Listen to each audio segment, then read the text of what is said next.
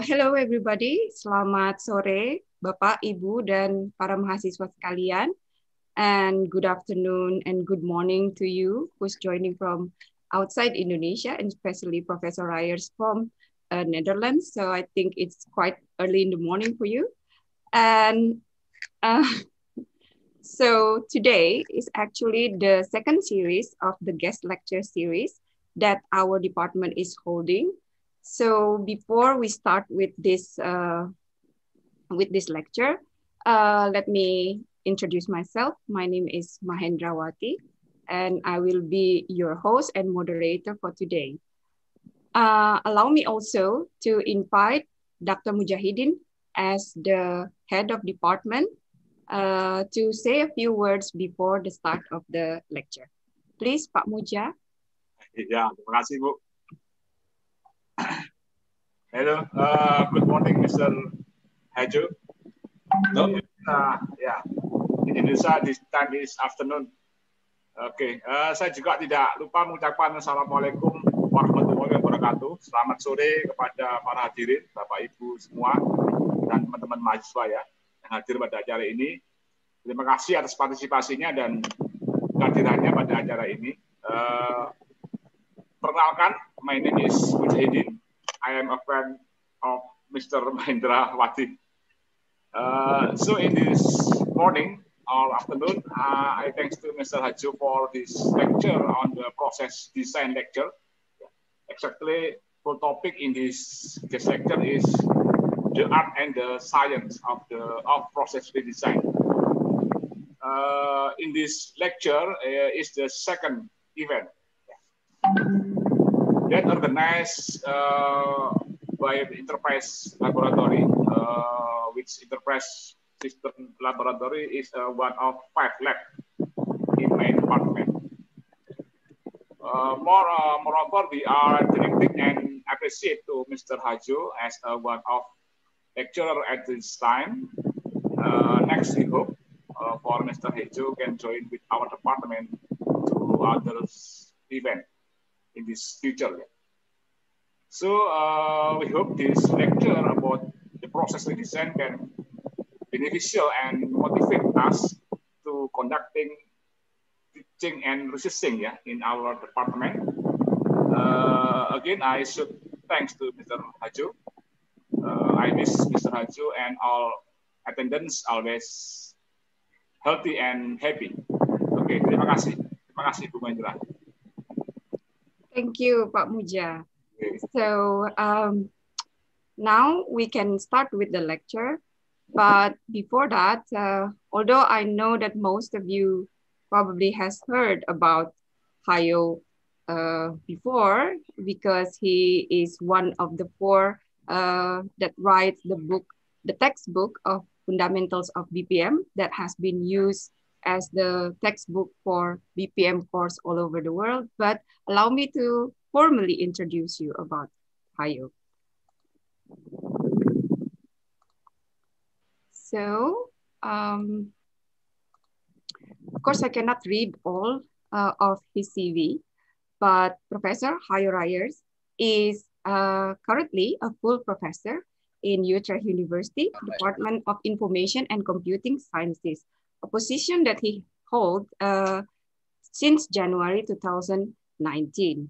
Prior to that, he is also a full professor at Free University, and also he started his career in Eindhoven University of Technology, where he also obtained his PhD and master.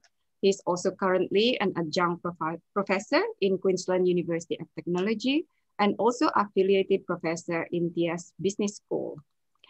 And professionally, before being an academic, uh, Professor Reijers also uh, worked as a senior consultant in Accenture and manager in Deloitte, head of BPM research in Perceptive Software.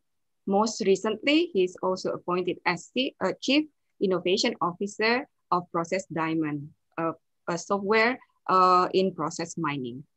Of course, his teaching is mainly in business process management, among others, and he's also the head of the Business Process Management and Analytic Groups of the Department of Information and Computer Sciences of Utrecht University.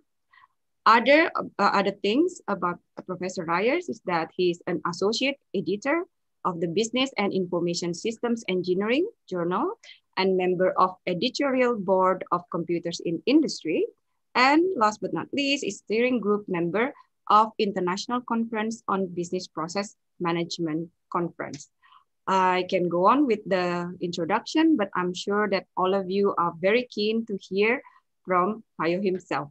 So Hajo, now I hand over to you and you will have a full, uh, um, I don't know, control of the, the lecture. You can divide it into uh, many sections where you can take a question and answer. And I also encourage the audience to ask question and put it in the chat, or you can raise your hand so we can give you the time to speak by yourself. Okay, thank you.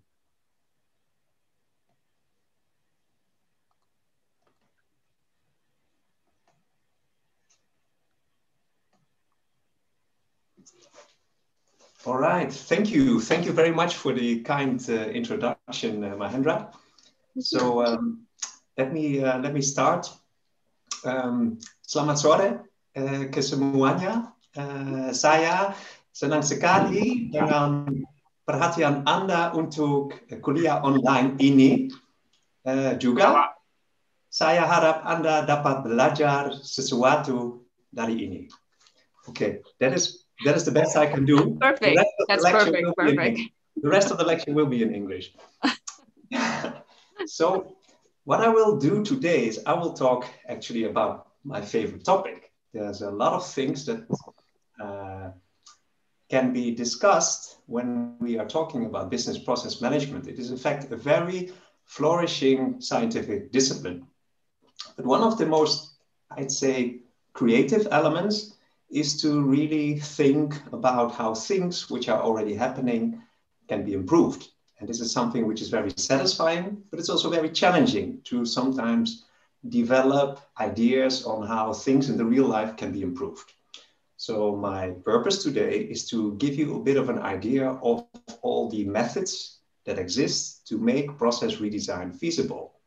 And as the title of my talk suggests, it's only partially science because we are, um, as a community, engaged in developing methods, but we also have to rely on heuristics and uh, ideas which perhaps don't have scientific proof, but seem to work in practice. So in that sense, this is really a topic which is under development, but it's a topic which I really love. I'd like to show you um, a very let me see this works. I'd like to show you um, a, a, view of my city. This is the city of Utrecht. Uh, you can see me there in the small boat paddling to the university. No, this is, this is not really true. This is a picture taken in the summer uh, where people can actually uh, do these kind of uh, things. Uh, Utrecht is um, an old city. It's a medieval city situated in the center of uh, the Netherlands. The university itself is unfortunately a little bit outside of the city center on a campus. And it's one of the, it is, I think, in fact, the largest university in the Netherlands. What I'd like to talk about today uh, really centers around the concept of processes. So I thought it would be wise to devote a little bit of attention to what processes are. Uh, because processes are not the main view of how organizations how organizations appear to many people. Many people, when they think about organizations, they think about the different departments which exist in an organization, the different managers, how the subunits, the divisions, etc. But when I look at organizations, I'm actually interested in the processes that flow right through these organizations.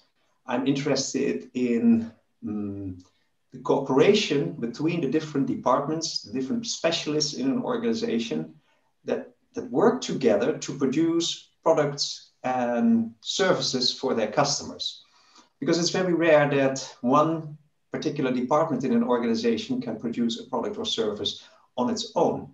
Um, for example, uh, there was a financial department which perhaps uh, registers an order, There is a scheduling department who has to, which is concerned with um, buying the raw materials to produce a particular product and make a schedule for the production of the goods which are ordered. Then there is a manufacturing department who has to, uh, which has to produce the goods, etc. And a warehouse, delivery, etc.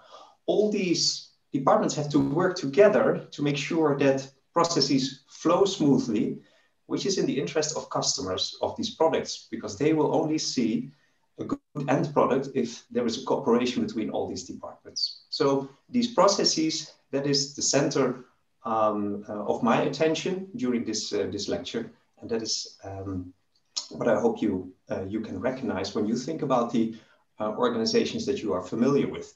In fact, if I look around, I, everywhere I see process, whether it is in healthcare, whether it is in manufacturing, agriculture, logistics, everywhere you see that there are procedures, protocols, steps which are being taken, people working together, technology which is being used to produce all kinds of goods and services. So I'm always looking at organizations uh, as processes uh, where people, uh, people, technology uh, work together. Now, I think the fundamental insight, um, which is the basis of my lecture, is that these processes are not just there and given, and they shouldn't stay there as they are right now. Processes are something which you can manipulate, which you can engineer, which you can fine tune, which you can change. Uh, you can change steps, you can change how people work together, you can use different types of technologies. So you can take all kinds of measures to change the performance, the organization, and thus the performance of the process. So just like a product, which is mostly physical and which we can really imagine that we manipulated, a process is also something that can be designed and can be redesigned and can be improved and even improved over many iterations. So that idea that a process, even though we cannot really touch it, it's not really a tangible asset, it is something which we can improve and change upon. Now, why would organizations at all be or, uh, interested in redesigning, improving their processes? In fact, there are two good reasons, I think. There are two main categories of reasons. There's one rather, I would say, pessimistic one and a rather optimistic one. So let me start with the pessimistic one. Everything breaks eventually. So anything that you develop, anything that you design will deteriorate. Now, think about roads, but this is also true for organizations and organizational processes. I call it entropy. Um, I've seen as a consultant very often that processes which used to perform very well deteriorate in performance over time because all kinds of mistakes happen within the process such that managers try to improve upon it with imposing all kinds of additional conditions and checks which means that the process becomes slower and slower because all these additional checks have to be done all the time. Also, many processes rely on the use of information technology. And of course, information technology also has a limited I would say, lifespan over time, uh, when there is more data or when there are higher demands on information exchange, IT systems become outdated.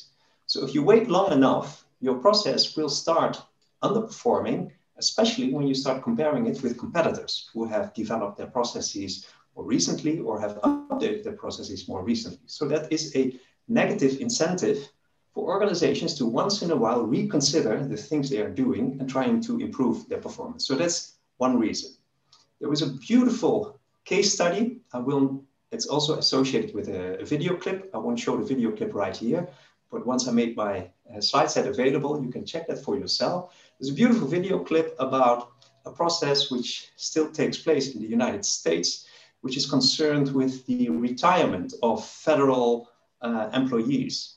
And um, you, you can hardly believe it. It's the 21st century, but people are still manually checking files, registering files, sending letters to make this process work. And this is a process which concerns tens of thousands of American citizens. And um, even though they try to improve upon it, Uh, the video clip will show you how difficult this really is. I'm, I'm telling you about this clip that you don't just think that bad, badly performing processes are something which is happening perhaps in organizations which are not very IT savvy or which are perhaps not very modern. This is taking place everywhere. In any organizations, you will see that sooner or later, processes start to underperform. So let's also focus on the more uh, positive um, motivation for organizations to look at process improvement and process design. Because the positive side is that if you know, if you can think of uh, good ideas, uh, smart innovations, proper use of new technology, you can actually gain an advantage over your competitors. If your process works faster, or if your process gives better customer satisfaction, or is perhaps more transparent for the authorities who want to need to monitor your process, you can have an edge over your competitor. And that is that's a positive motivation to look at process uh, improvement. So there's also some data to back up the idea that organizations are really, or should actually be really be curious and interested in innovating their processes. So what I'm showing you here is a, a model which has been developed by two economists, Abernathy and Utterback, um, hence the name of this model. Uh, what these economists have done, they have studied a range of organizations and they have looked through to the life cycles that these organizations went through. And for most organizations, you can actually identify two of these life cycles. There is this right, sorry, this red wave, when you see that organizations will rely for quite some time on innovating their products to stay competitive and to keep a market share. So think of the iPhone, right? When the iPhone was released, the next editions of these iPhones were, were huge additional, uh, offered huge addition, additional features and were attractive products in their own. So Apple could rely on this product innovation to keep people interested in their phones. I'm not an Apple fan myself, but I know that even from Apple fans, um, that the differences between the new iPhones are not as impressive anymore as between the, the former uh, editions. But what you will see is that organizations, after a time of product innovation, they will move, they will move to not so much improving the products, but improving the processes which are associated with the generation and the distribution of their products. So it's not a, um, let's say, it's not a mystery why Apple, for example, is at this time interested in uh, generating its own currency. So this is, this is a process, a supplementary process, which makes it much easier to sell their products to their customers instead of innovating their products by themselves. And you can actually see that some organizations have mastered this uh, idea of innovating the processes around their products rather than innovating their, uh, their products themselves, become very good at it and also become very successful at it. I think the best example nowadays is Amazon. Uh, Amazon was, most people will not or, uh, realize that this is once something which was very in innovative. Amazon was the first organization that ordered on the web uh, one click ordering that you could, with one push on the button, order uh, your products.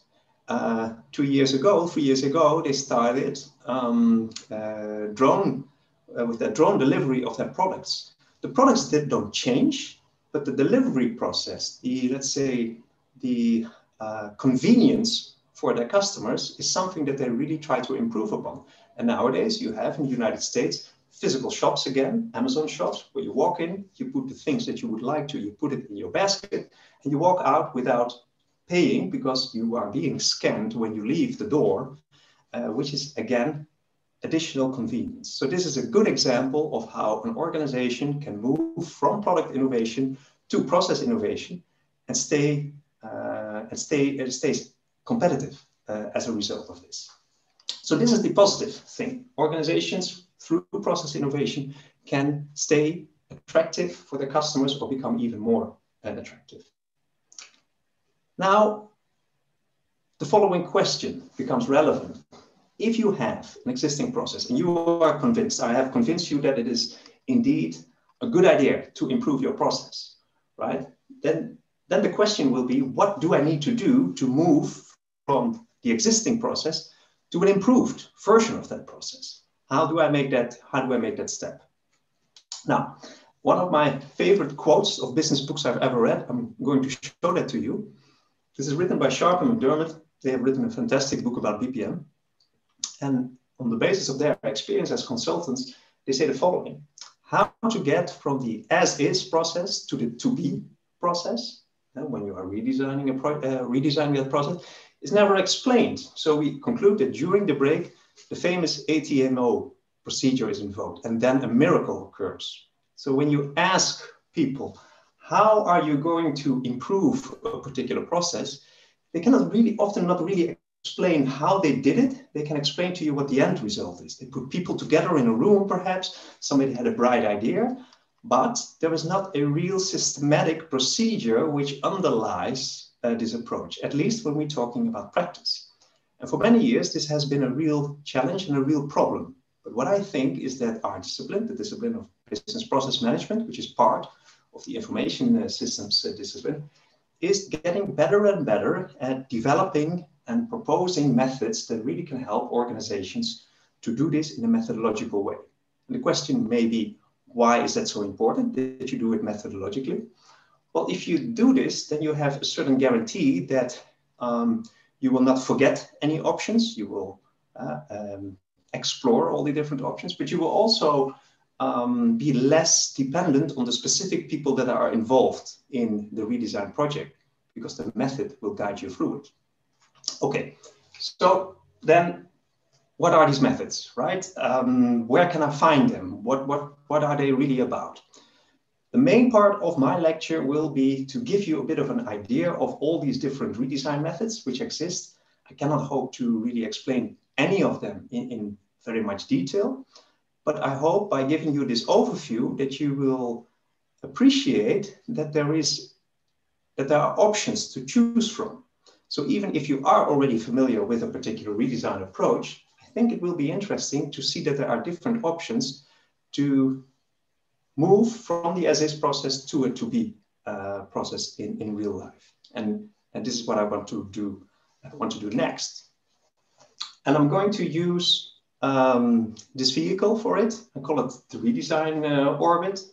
Um, I will explain it uh, to you um, it is a way for me to give you an overview of all these different methods which, uh, which exist. Um, maybe this is a good time uh, to make a short break um, in case people have questions.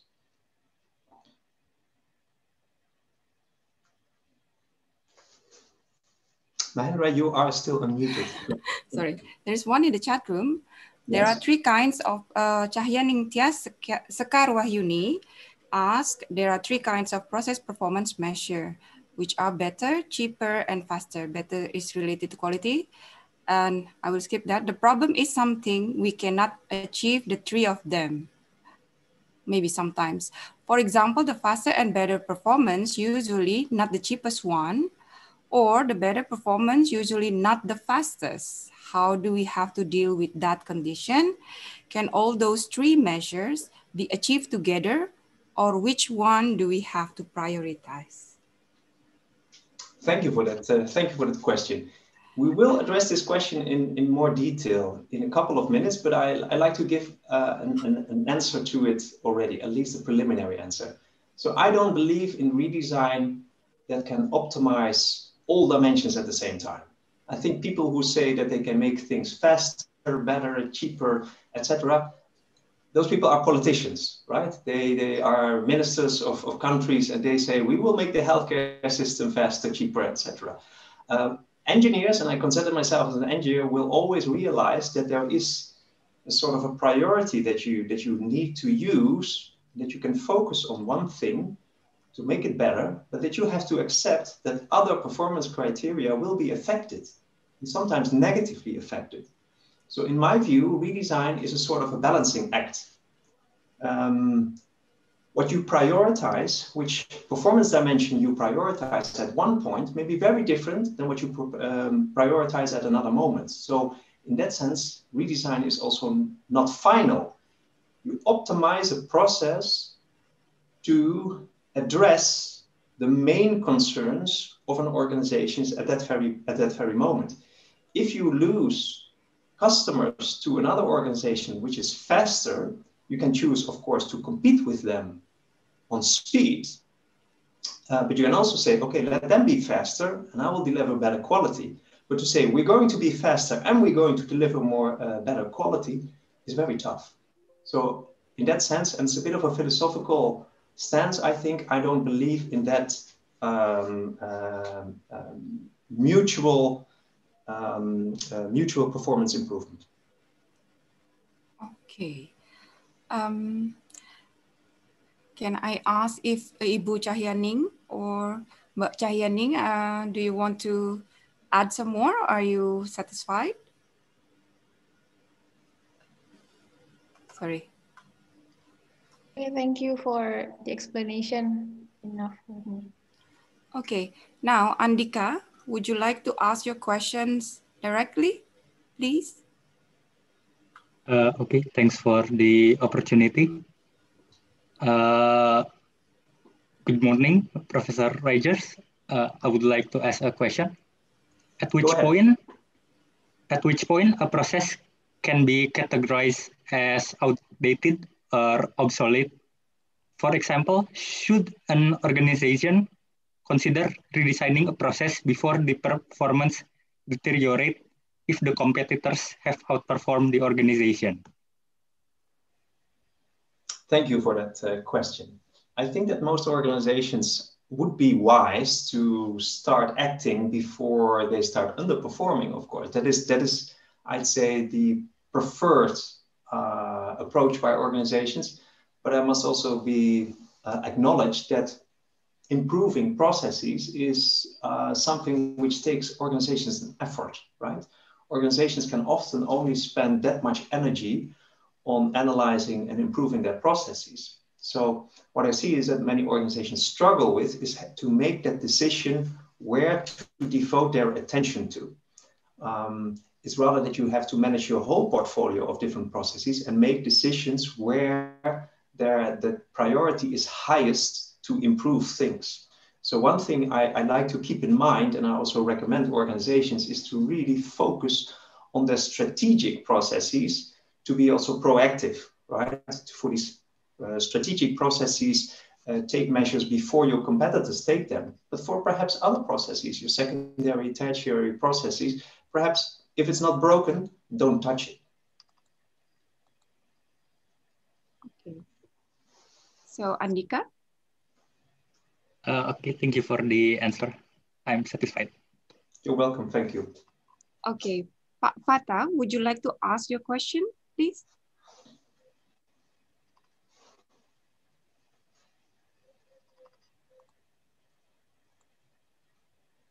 Fata? Yes, ma'am. Yes. Thank you. You're welcome. Please ask your yeah. question. I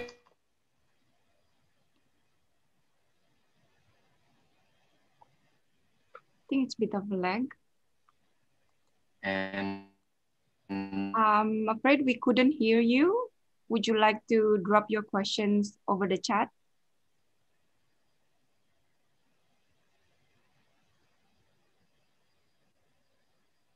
All right, if anybody else would like to ask a questions, I think we can also have it during. Uh, yes. Yeah, would you like to carry on or take more questions? I will make a couple of more breaks. I will make a couple of more breaks. So if people yeah. have a question, they will get their opportunity. Yeah. All right, okay. Okay, so let me continue. Um, what you're seeing here is the redesign orbit, and it's a sort of a landscape. It's a way of organizing different uh, different redesign methods. And I'm going to explain it to you um, using explaining the three dimensions of the redesign orbit. And then it becomes, I hope, a little bit clearer. So the first dimension I want to discuss is the ambition um, dimension. Hello, sorry. What do I mean by the uh, ambition dimension is that you have different types of methods. You have methods, redesign methods, which are very transactional in nature. And you have methods which are transformational in nature. And these are really opposed to each other. You can also recognize that when you read books or methods or, or books on methods on, on redesign or scientific papers, the transactional methods, they aim to seek problems and resolve them in a very incremental way, step by step. And they do not really challenge the underlying process structure. They try to tune, fine tune the existing process to deal with small problems, to reap low hanging fruit and make the process perform a little bit better. But then there are these transformational methods which really try to achieve breakthrough innovation.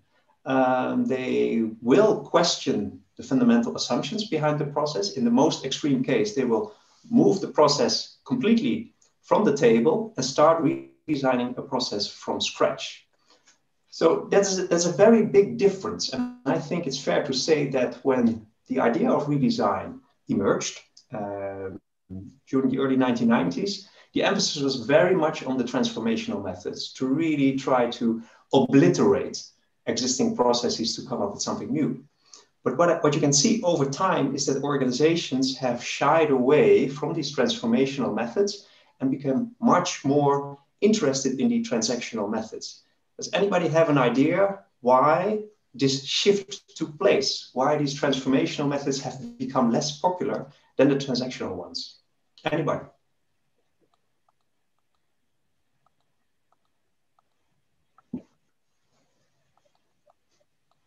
No.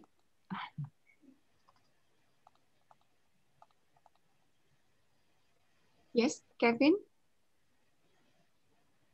Kevian, you can answer first. Yes, uh, thank you.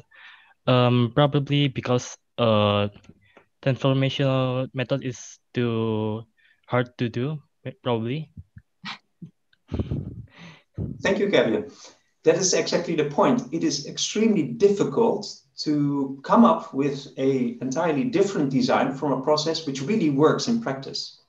Um, so organizations have found out that this is an extremely risky approach to change everything uh, in a process. There is, of course, an advantage. If, it, if you manage to do this, you can move from a very low performing process to a very high performing process. But the risk is so big. So that is that is what, what you are what you are also implying. It is difficult to do so. So rather organizations are doing these, these transactional approaches. I'm not saying that this is the best approach in all situations. If you have an organization which is really, you know, uh, suffering from the competition that you have, and you can only incrementally change the things you've been doing, you may, may be out of business very soon. And you have no other option than to go for a transformational method. So it may be strategically the right choice at some moments, but it's much more risky. Yeah. So that's the first, thank you. So that's the first uh, axis or first dimension. The second dimension uh, deals with the nature of the method uh, itself. So the nature of the method, that dimension, you can distinguish between methods which rely on creativity and analytical methods, analytical methods which are much more perhaps mathematical in nature.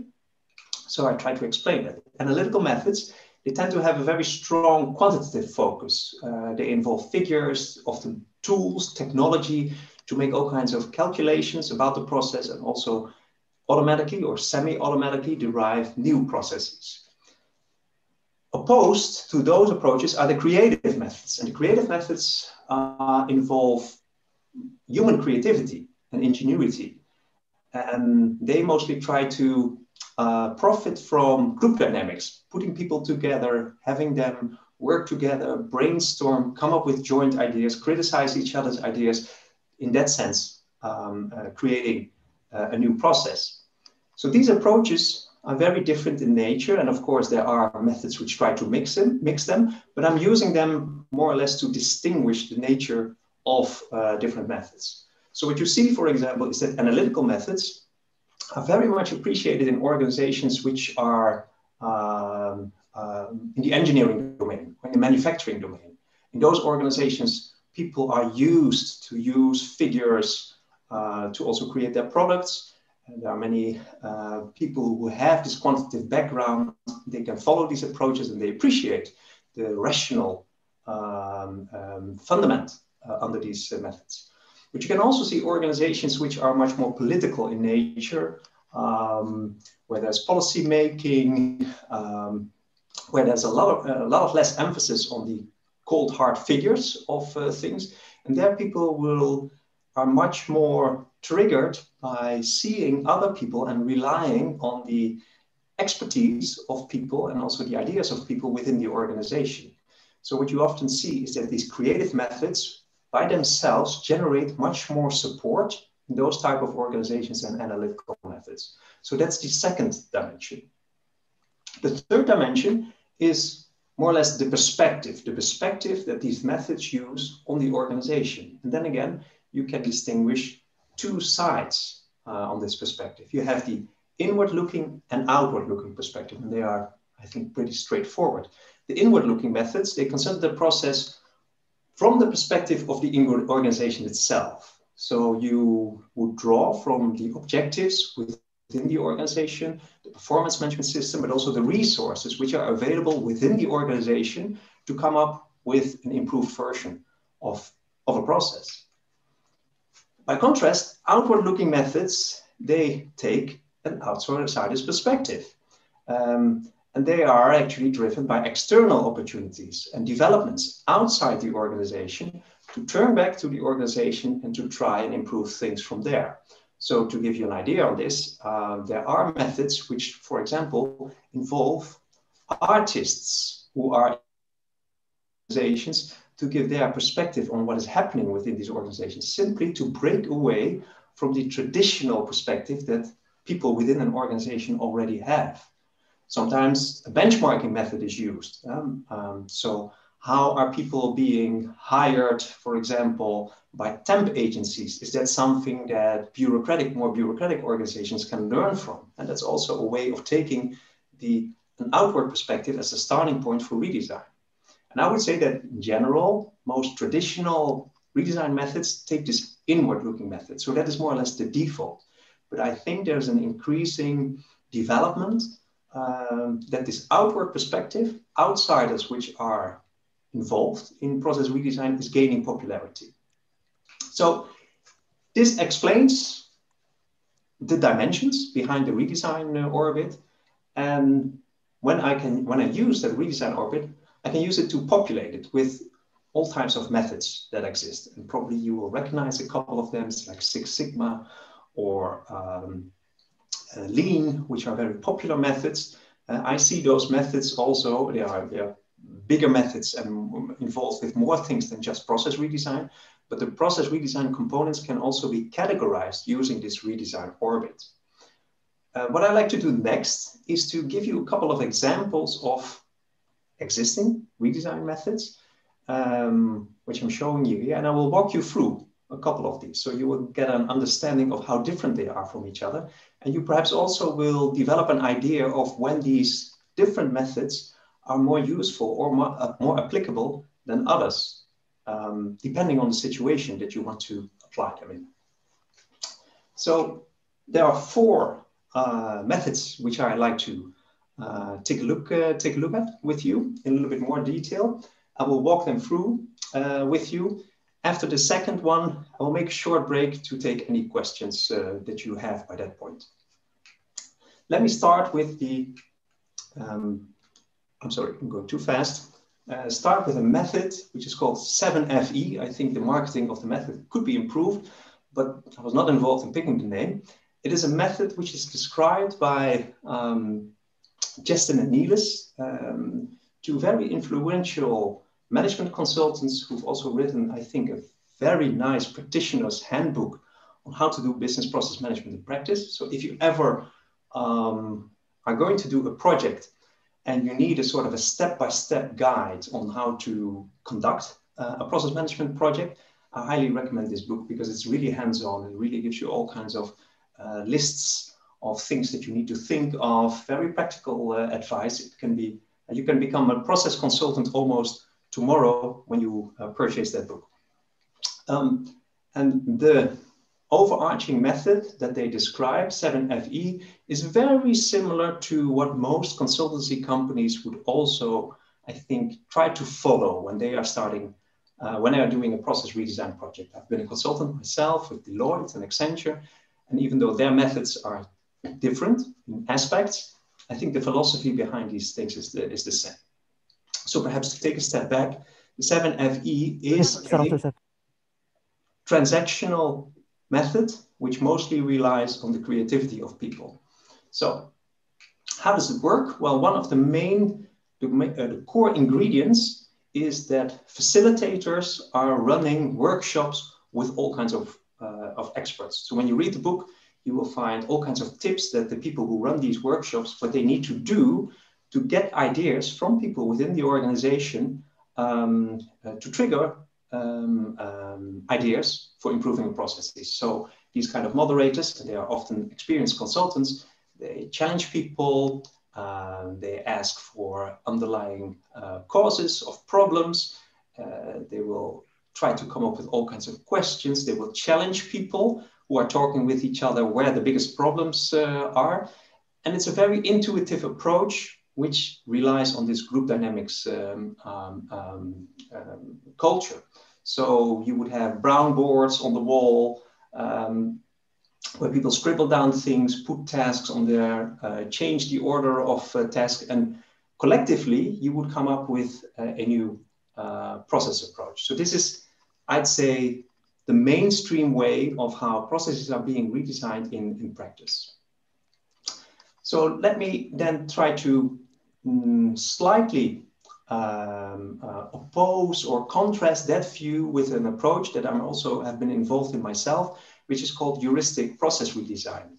Compared to the 7FE, which I just explained, uh, it is a much more analytical method. So there's much less emphasis on the, on the group dynamics. There's much more effort on using a system, systematic method to come up with a new, uh, a new process. But it is still, we are still on the transactional side of the uh, spectrum. And we're also mostly at the inward looking, using an inward looking perspective. Heuristic process redesign is an approach where there is a fixed list of heuristics. Think of them as, as rules. There are almost 30 of them. And each of these rules stems from an earlier experience where this particular rule helped to improve the performance of a particular process. So what happens in a, in a project that runs the heuristic process redesign is that the list of all these heuristics, they are gone through and each of them is being evaluated whether it is an applicable measure in this specific situation at hand. And there may be different reasons why you wouldn't do something. For example, if you use a heuristic which helps to speed up the process, but it wasn't never your plan to speed up the process, the quality of uh, the process should be improved, then perhaps that's not a very good rule to apply. Or if you see another rule which perhaps seems attractive, but it has already been tried, it has already been done, you would also skip that. Nonetheless, when you go through this almost uh, this list of almost 30 redesign heuristic, it's very likely that you will find things which may be applicable and attractive to uh, apply in your situation. Perhaps it will even trigger other ideas, or perhaps you it is, seems wise to combine different pro process redesign heuristics, right? So it's not a very rigid method that you have to perform only those heuristics, but it's a way to trigger a way of thinking about, about a new process design. So typically when you have gone through the list, you would cluster applicable methods together and generate new designs. So um, if you want to improve time, for example, and this is example I'm showing you, you want to put tasks in parallel or you want to follow the principle of case-based work. What I will do now is I will give you a couple of examples of these underlying heuristics so you have a bit of an idea of what these heuristics are about. But before I can do that, I have to reflect a little bit on performance dimensions. So I was grateful also for the question on uh, speed and quality because uh, you indeed need to know which kind of things you really want to improve before you do any kind of uh, process improvement project. So this is more or less an intermezzo to reflect on typical performance dimensions that you may want to consider. You know, I'm not very orthodox in the sense that these are the most important ones. Uh, so if you are used of using three other dimensions, you mostly will see that they resemble each other. Um, but a list I am fond of is to think of time, quality, costs, and flexibility as important performance dimensions which you may want to choose from and which you want to improve, but of which you have to realize that there is a trade-off. So one of my colleagues in Utrecht many years ago proposed this kind of thinking model. And when I talk with my students, when I meet them uh, after they graduated and started working in industry after years, they often tell me that this is a model that they are still have in their mind and that they're still using almost on a day-to-day -day basis when they are thinking about improving things within their organization. The idea behind it is that if you have different dimensions like quality, cost, time, and flexibility, if, if you are improving something, you are pulling one of these dimensions to a higher level. But unfortunately, when you're pulling on one side, the other parts are moving along with it. So these things are in relation to each other. So the ordering of quality, time, flexibility, and cost is not so important in this figure. It's much more important that you see that they have something to do with each other. So for example, if you try to make a product uh, improve the quality of a process, perhaps you're going to introduce many checks in your process, which makes it much slower, right? Which makes the time performance dimension, which decreases it. So that is the idea behind it. Now, if you realize this, then let me show you an example of one of these 30 redesign heuristics. And that is the case assignment heuristic. So think that you are, think about yourself as a consultant. You are trying to improve the performance of a process. And one of the 30 rules, actually 29, I couldn't think of 30th one. So one of the 29 rules is case assignment. And the rule is let workers perform as many steps as possible when they carry out a single case. And so uh, there's a patient who comes into the hospital and preferably the contact person for that patient and the person who will do most of the tasks is all the time the same person, uh, whether that is a nurse or a doctor. If the doctor or the nurse is capable of also doing the next possible step for the same patient, he or she will do that. Now, think about the performance dimensions. If you have this kind of approach, it will probably have a very big effect on the quality of the process. Why is that?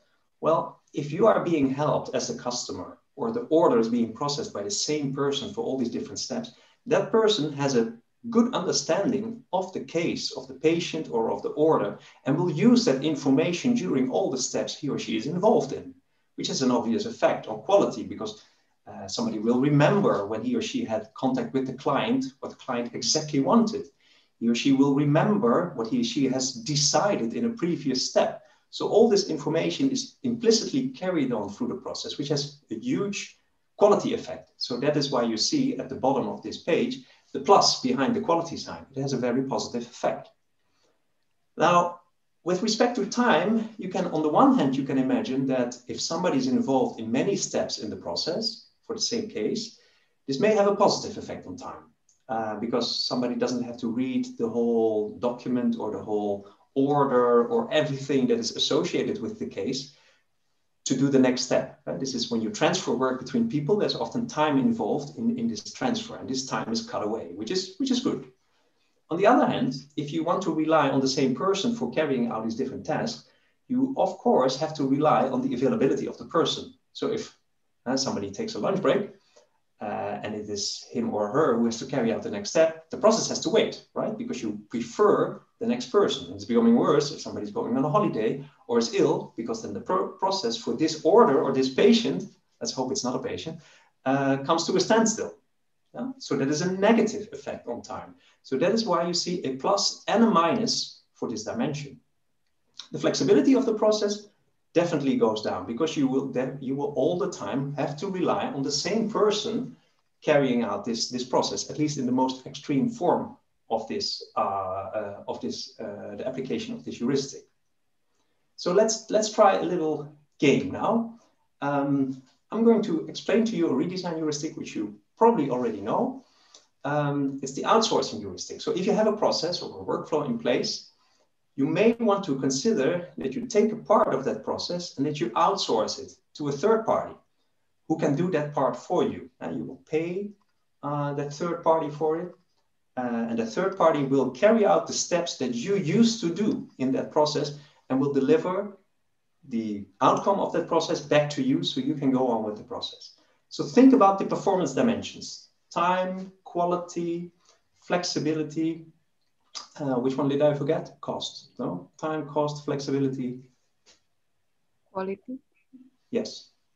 So what is the, can anybody think of the performance dimension, which is probably very positive, can be positively influenced by taking this measure?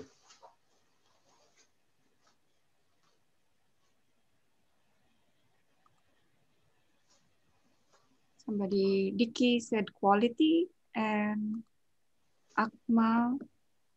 Yes, someone said, okay, would you like to answer? Please, Akmal, go ahead. Okay, thank you, Mrs. Mahendra and Professor Reijers for the time. Uh, so I think uh, the most affected uh, aspect will be time because uh, we we can uh, we can take the necessary work that we have to do and give it to the outsourcer the, and outsource it and we can make it more time efficient. So I definitely. I, I think i think you're you're thinking in the right direction right? If the party who takes over the process is specialized in this particular task they have probably have built up expertise to this and can do this faster right? So this is this is one positive uh, positive effect of it. Certainly, can you also think of another positive effect potentially? And I think uh, quality is also applicable in this case because, uh, as you said before, if the party is uh, specialized in this case, so yeah. they must be have uh, very good quality regarding the product they are uh, they are doing. So that, that could be the case, right? I have seen, uh, and that is why, why it is also important to realize that we are talking about um, this impact in general, right? In specific situations may be different, but if the organization is has expertise, as I also assumed, then the quality could be higher. But it is also true that in organizations that try to outsource to gain cost benefits, that the quality may actually drop uh, that you outsource, for example, a software development project to um, a team where there are lower labor, uh, labor costs, then you really have to struggle to keep the quality, perhaps, of the delivered software up to a certain level. Uh, this is what also many organizations experience. But I agree also with your point, depending on the party to which you outsource, quality may also be affected. So then we have not discussed one final performance dimension, flexibility. Can anybody else give me their view on what is likely to happen with respect to the flexibility of the process?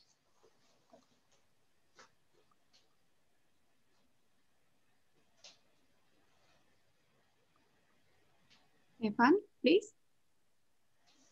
Uh, yeah, uh, Prof, I would like to answer. Uh, I think the flexibility will be lower because if we outsource, uh, then it will be harder to communicate.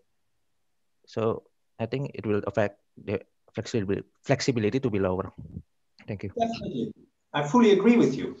Um, when you hand over work and it is uh, then carried out by another party, there are, of course, less opportunities to still interact and communicate with such a party when the process is really being carried out. So if the customer calls you and says, hey, oh, I, I really like to have a different color of the product that I just or, or ordered, or, or um, can you make two similar, uh, similar ones? It is of course much more difficult to then manage the process, update the process on at runtime and change your the order or the production process when there's a third party carrying out this part of the process. So your flexibility will go down. Whether this is important or not, that depends on the kind of organization you are and how you want to compete with other, uh, uh, other organizations. But it is very likely that your flexibility will go down because of this. So thank you for your, uh, for your kind answer. So that I'd like to move on. So there's a whole list of these heuristics. Uh, I already um, indicated, so you can see a blank space there. There's not, there are 29, there are not uh, 30 of them. But I would suggest if you really are involved in a process redesign project, to at least take a brief look at these heuristics to see what they are about and to see if they can help you to generate new ideas for, uh, for your process improvement project. Uh, they are also described in the fundamentals of the BPM uh, handbook in an appendix. There's also a lot of scientific work behind it in the sense that we looked at the validation of these heuristics. Many, or, uh, many scientists at the moment are also trying to automate these kind of uh, heuristics. So if you have a process description in any form, whether you can perhaps automatically identify opportunities uh, for the application of these redesign heuristics and perhaps generate new designs automatically. I think it's a very uh, exciting uh, field of research but also in practice, people have been using uh, them.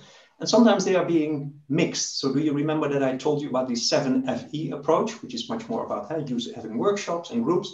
You can, of course, mix the things. You can have people, uh, you can put people uh, together and then have them collectively look at these redesign heuristics, right? So it's not black and white purely uh, between these uh, methods. Okay, so um, I'd like to again make a very short stop uh, for questions before I move on to the last two examples that I want to give. Yeah, and timing, we have two questions already.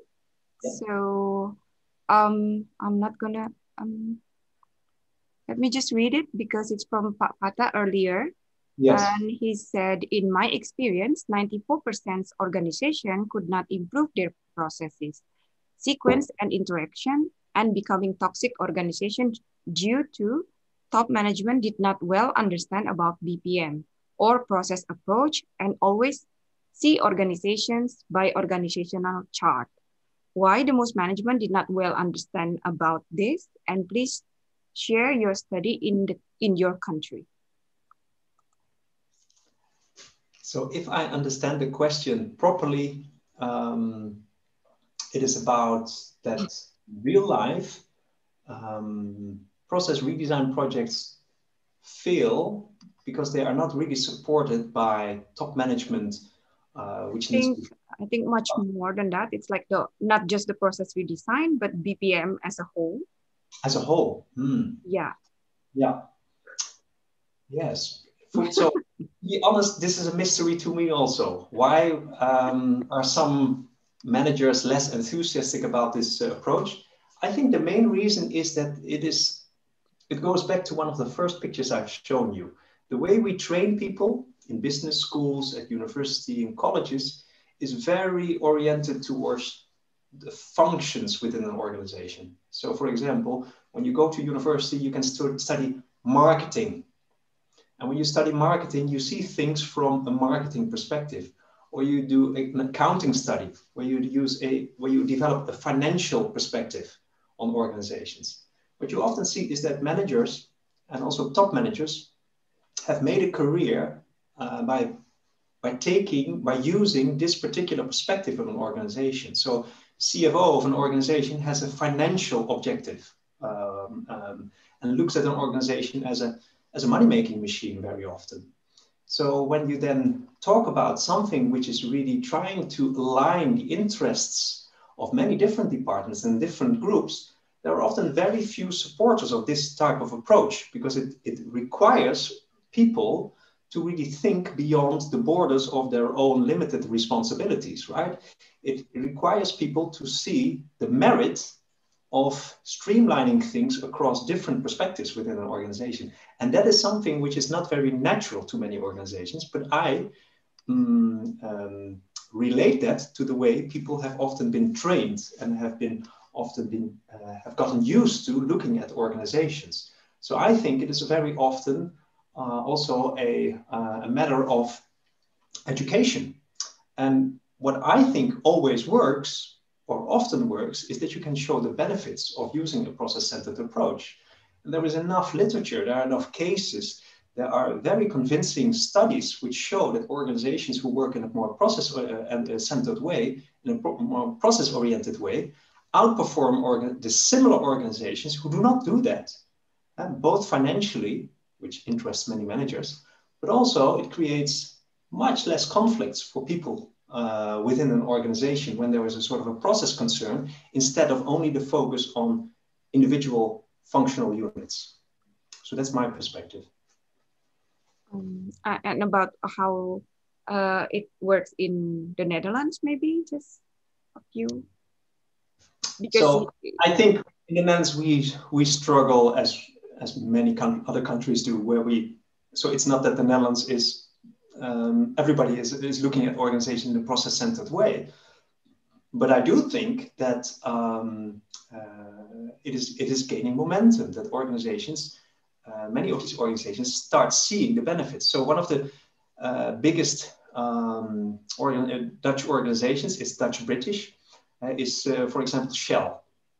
When you look at the website of Shell, and if you when you take a look at how Shell presents itself, it doesn't present itself through this functional structure. It shows all the main processes which are happening within the organization, which shows that the first thing that they want to show is that they have these these, these main processes, uh, generating energy from natural so, uh, resources, uh, exploration of uh, new energy sources. These are all processes which you can immediately see when you check out what the shell is really doing. And I think that's a sort of a reflection of that organizations are, some of these organizations at least, are embracing this perspective. But it's, it's definitely not, not everywhere. I mean, uh, we have at the moment in the we have a, quite a scandal with our tax service, um, where the procedures were implemented and, and executed much too rigorously and I think that this actually shows a lack of process orientation. Thank you. Okay, can you take another two questions because there are two questions? Yeah, sure, go ahead. So you just mentioned, uh, this is from Edward. He asked, you just mentioned transformational methods has a big risk and it has been indeed experienced by a company called Procter & Gamble because at 2012, They failed at aiming to be the most digitalized consumer goods company. It is said that the reason of their failure is because their scope of transformation is not small enough. So yeah. my question is how small of a scope should an organization try to change their process? Thank you. Thank you for that uh, question. Um, so I don't have the ultimate answer, but I can at least help you a little bit thinking about the uh, mm, about how to determine the scope for um, a redesign project. So scope and impacts are related to each other. The bigger you take your scope of the process or the processes that you that you will um, consider for redesign, potentially the bigger the impact is right? If you're going to improve the steps taken within a single, a single department, the impact will be much less than when you look, um, look for, for example, standardizing um, uh, a sort of a, an invoice process over all the units of your multinational organization, right, in every country. So when the scope is bigger, the impact is going to be potentially is going to be higher.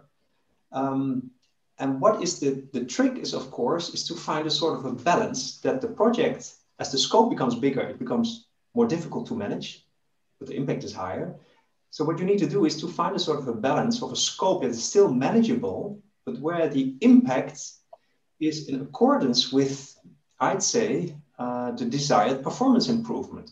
So again, if you are struggling as an organization and uh, you need to make a big step, then I would recommend to take make the scope of your redesign project bigger because you really have to achieve um, uh, a big leap in performance. But if you have a very complex organization and you are at the top of your game and you want to try out a new technology, uh, then perhaps use a smaller scope to first see the benefits of this technology before you start rolling it out to all the different units or branches that you have of that uh, uh, of that particular process within your your organization. So it's not a, an answer, a clear-cut answer in the sense that the scope has to be this big, but you have to balance the scope with the impact that you want to uh, achieve, because that determines, I think, the, the kind of manageability that you are willing to accept. Okay. So, Edward? Is that okay? It's okay. I'm satisfied. Thank you, Professor Reijers. You're welcome. And another one is from Alexander Nicholas. Uh, the 7FE method is more into transactional, creative, and inward looking.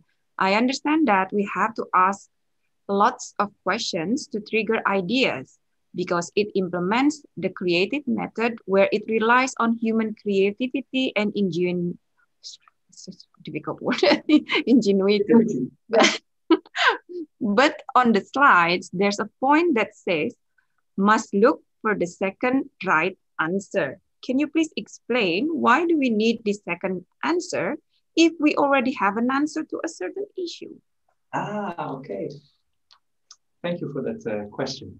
So what is, uh, I think the, the, the reason that uh, Jeston and Nelis put that there is that their experience, and I think I can confirm that, is that when people talk about issues or, or problems within organizations, they often focus on the surface of the problem. They see the problem and they often try to fix the service problem.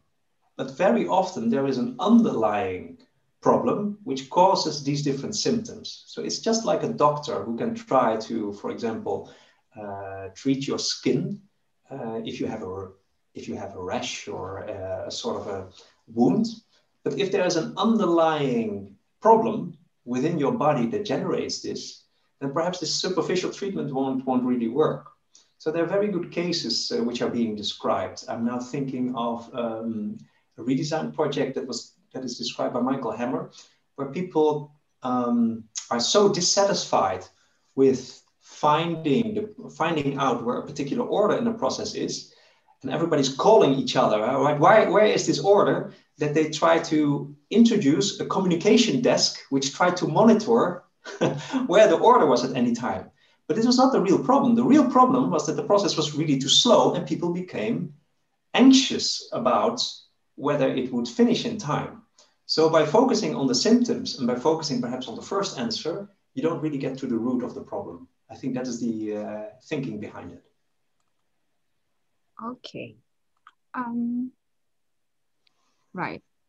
Uh, there's a question from the YouTube channel. So Ricardo Garces asked, how is BPM appropriate to robotic process automation, RPA? He's got two questions. What can you tell employers when they want to improve projects but mainly hire employees who focus on Six Sigma approach. Ah. So, well, uh, maybe RPA first and then. So how much time do I have? Because uh, RPA is, is, is, a, is, a, is a pet topic of mine. Um, so it could, it, it could lead to a whole new lecture. So I'm very enthusiastic about this uh, technology. What I think, very short answer then, but there's much more to say about it. Uh, RPA is a technology which really helps to uh, automate simple tasks by people.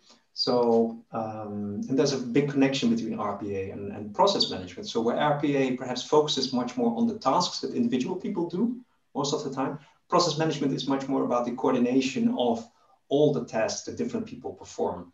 And so RPA has a smaller scope, but they work very well in, um, uh, in coordination with each other. So increasingly, I see that organizations are applying RPA and trying to, if they do it well, uh, integrate that into process management initiatives. So that's that's my view on, on RPA. Um, so the question with relate, relates to Six Sigma. So there are many enthusiasts about Six Sigma, and I don't want to take any anything away from the attractiveness of Six Sigma. The problem I have with people who are so fond of Six Sigma is that they treat it as a hammer that they can that they can use to hit anything at, right? Not just nails. Um, Six Sigma is a very nice approach if quality is the issue in your organization and you want to improve the quality of your, of your product. But if it's not about quality, then Six Sigma is, in my uh, opinion, not the right method the good thing is that people who are already trained in Six Sigma have at least a sort of an understanding how a method, an analytical method, can help an organization to achieve particular goals. But it really has to fit with the objectives of organizations, how they want to improve, uh, whether this is, this is really an appropriate uh, approach. I don't think if you want to become more flexible, that Six Sigma is the way to go, right? So there are two sides to it. It's good that people are already enthusiastic about using a method, but the method in itself is limited with respect to the things that you can, do, can achieve. Right. I think um, since this is from the YouTube channel, I think um, hopefully that he uh, heard and can be happy with the, your answer. So um, at the moment, there's no more questions. So if you would like to finish off or carry yeah, on? I'd like to uh, continue. So what do you think, Mahendra? Do we need a, a, bigger break or shall we continue? I'm still fresh. But... Yeah, I think so. I mean, we can always put the more question and answer after you finish all your materials. I'll continue. I'll continue. Let me, let me try to wrap up. There are two things I still want to do. I want to finish my explanation of the different methods. And then I would like to move to the, uh, the end part of this presentation where I will also give you sort of an additional views on process improvement. Which right, you can do that by maybe another 20 minutes so we can have more questions later. Yes, okay, good. So I'm going to talk about the NEST. And the NEST is a method which is rather new and is developed uh, uh, at Queensland University of Technology by, uh, I think, one of the most fantastic BPM professors uh, working in the field, Michael Rosemann. Um, and it is an approach which is, I go back a little bit, which is situated much more in the outward looking sphere, and, but still uh, a creative method like the uh, 7FE. So um, what is, what is being done is that people are put together in a physical room. And the room, and I've seen it, and there are video clips uh, of this on, on, on YouTube, uh, the room has particular meaning for the redesign project. So you see a sort of an overview of that room, a top-down overview of the room on the bottom of this, uh, this slide. So when you start redesigning, the people are sitting in the now side of the room.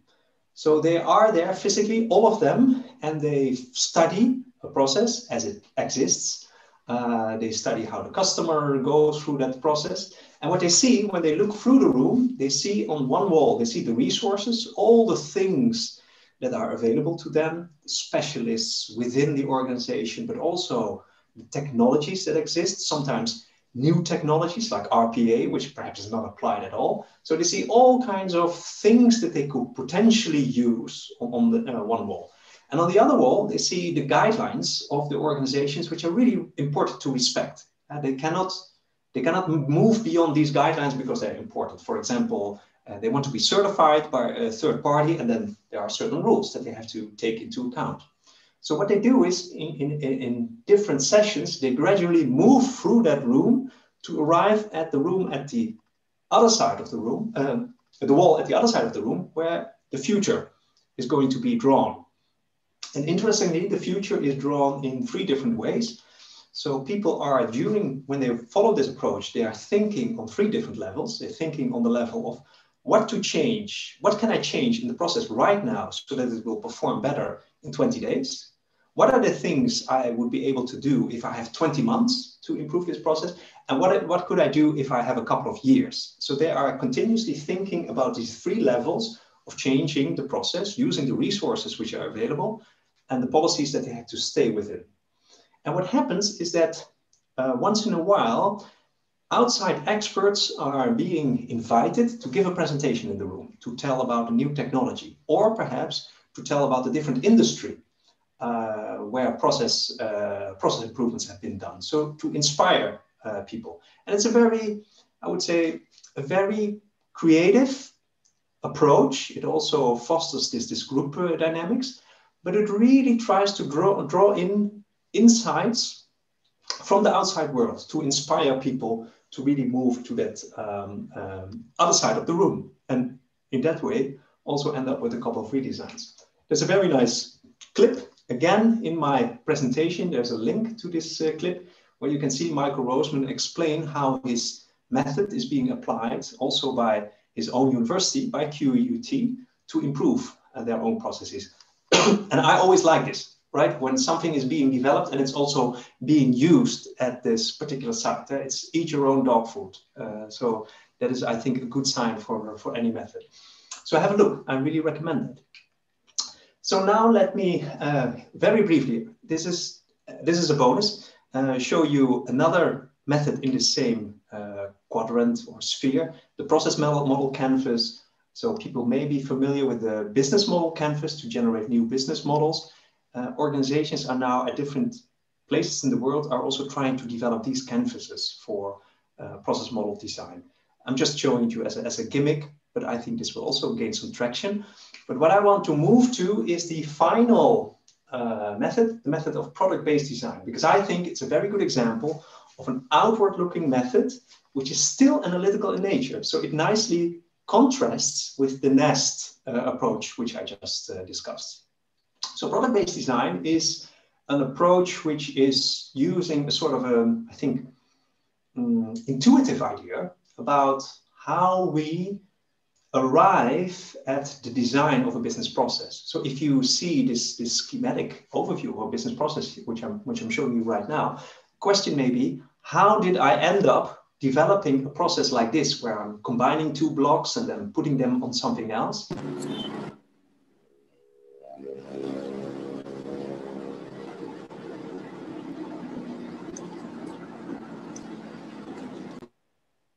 Thank you.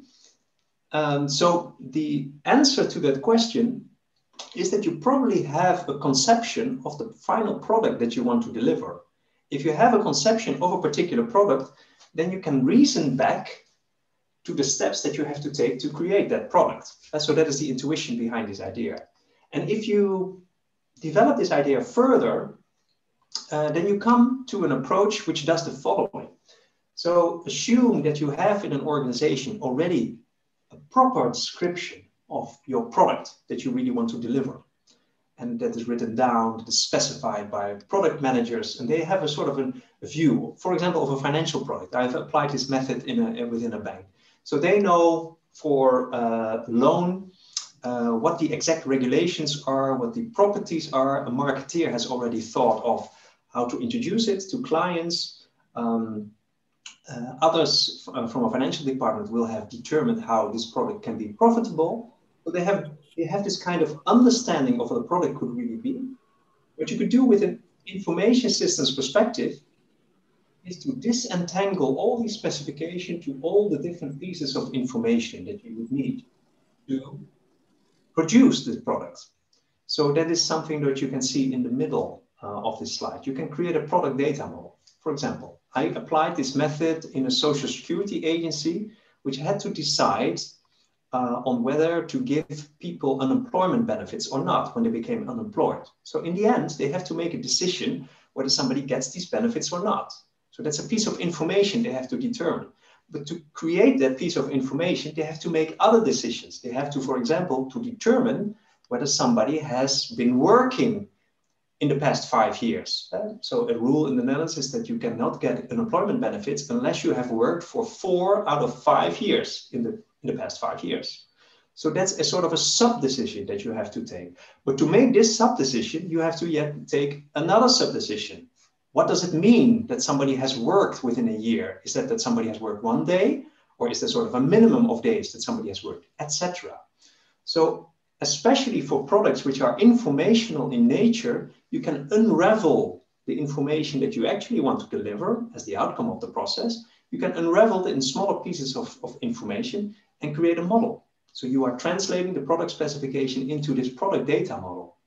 And if you have that product data model, you can generate a process because a way to go through that product data model is actually uh, a process. The people among you who have perhaps experience in uh, the manufacturing domain may recognize this, this approach. Because in manufacturing, it's very common that for a particular product, there was a bill of material, which shows all the different components that a physical product is, is composed of. And if you have this bill of material, which shows, lists all these components, then you can also reason back to different processes which can create that product.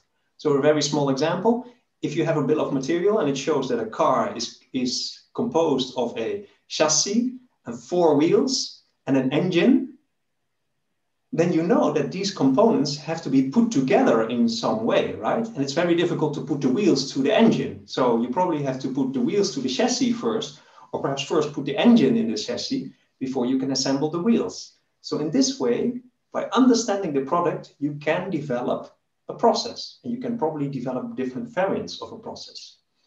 So this is an approach which is clearly analytical, but it's also an outward looking approach. Why? Because you're using the expertise of people who have make a description of the product that they want to deliver, right? And only then use it to develop an internal process. What the existing process is at this moment is not important, right? You derive the process completely from the product. Now, this is an approach I, I used to work with uh, Deloitte when we developed uh, this approach. We also applied it in industry in many, uh, many settings and has uh, if you want to read more about it, there's a lot of uh, papers in, this, in this area. So, question to you. There was one sphere of this redesigned orbit which I didn't fill. Have a look at the orbit and look at this area. And is there anybody who can explain to me why this area is empty? Was it because I was lazy or is there another reason?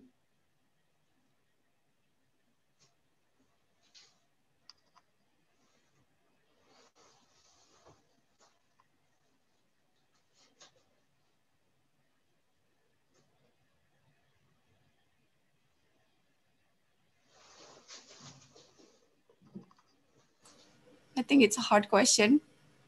No one answered. No. And I'll help you. Oh, there is a response? Yes, from Yoga Yogantara. Yoga, would you like to answer directly? Uh, thank you for the chance that given to me. Well, I think from the internal perspective, maybe people inside the organization are are busy doing their daily tasks maybe so they they are hard to think creatively maybe or i think yeah. i think that's my yeah, people working in the organization they have they're busy and they do you think it's easy for them to to develop an ideas of completely doing their work completely in a completely different way? Is that easy for them or is that difficult? I think it's very difficult uh, unless unless the the organization has a certain certain structure that focusing on the research and focusing on the development. Yes. And yeah, because yeah. I think that's my opinion. I like it. Thank you very much for sharing it. Uh, I think this is true. I think it's very difficult to reason from the internal perspective only and come up with really groundbreaking transformations. It's incredibly, incredibly difficult to rely on people who are involved in the day-to-day operations of their processes to, to really imagine how they could that, do that work entirely differently. So the, the flip side of this is that also this also means that if you want to achieve a transformation of your process, it's probably a good idea to bring in external expertise, right? To bring in expertise, to bring in at least the outside perspective. How are others doing this? Or bring in knowledge about new technologies, technologies which are not used to. Or perhaps have somebody fresh looking at the performance of your processes. Uh, so one of the things that I always enjoyed is asking people why they do things they do. And the answer is often, well, this, this, this was the way it was being done when I started here, right? This is how they explained it uh, to me. But that is not, of course, necessarily the best way to carry out this process. I also think that many people have good ideas on how to improve the way they are working, right? So I, I don't, I, am not saying that people do not see improvement opportunities. What I say, what I'm saying is that it is very difficult to, for people to really come up with entirely new, new ways to do their work uh, rather than making incremental improvements. So in, I think that is a good reason for why this sphere, why this part of the redesign orbit is empty. There's so one comment in the chat uh, from Pak Firman who says that creative transformational can use suggestion system in Kaizen. What do you think about it? Certainly, yes. I, I also agree, but I think that Kaizen is also um, driven by and external, also by external perspectives. Yes.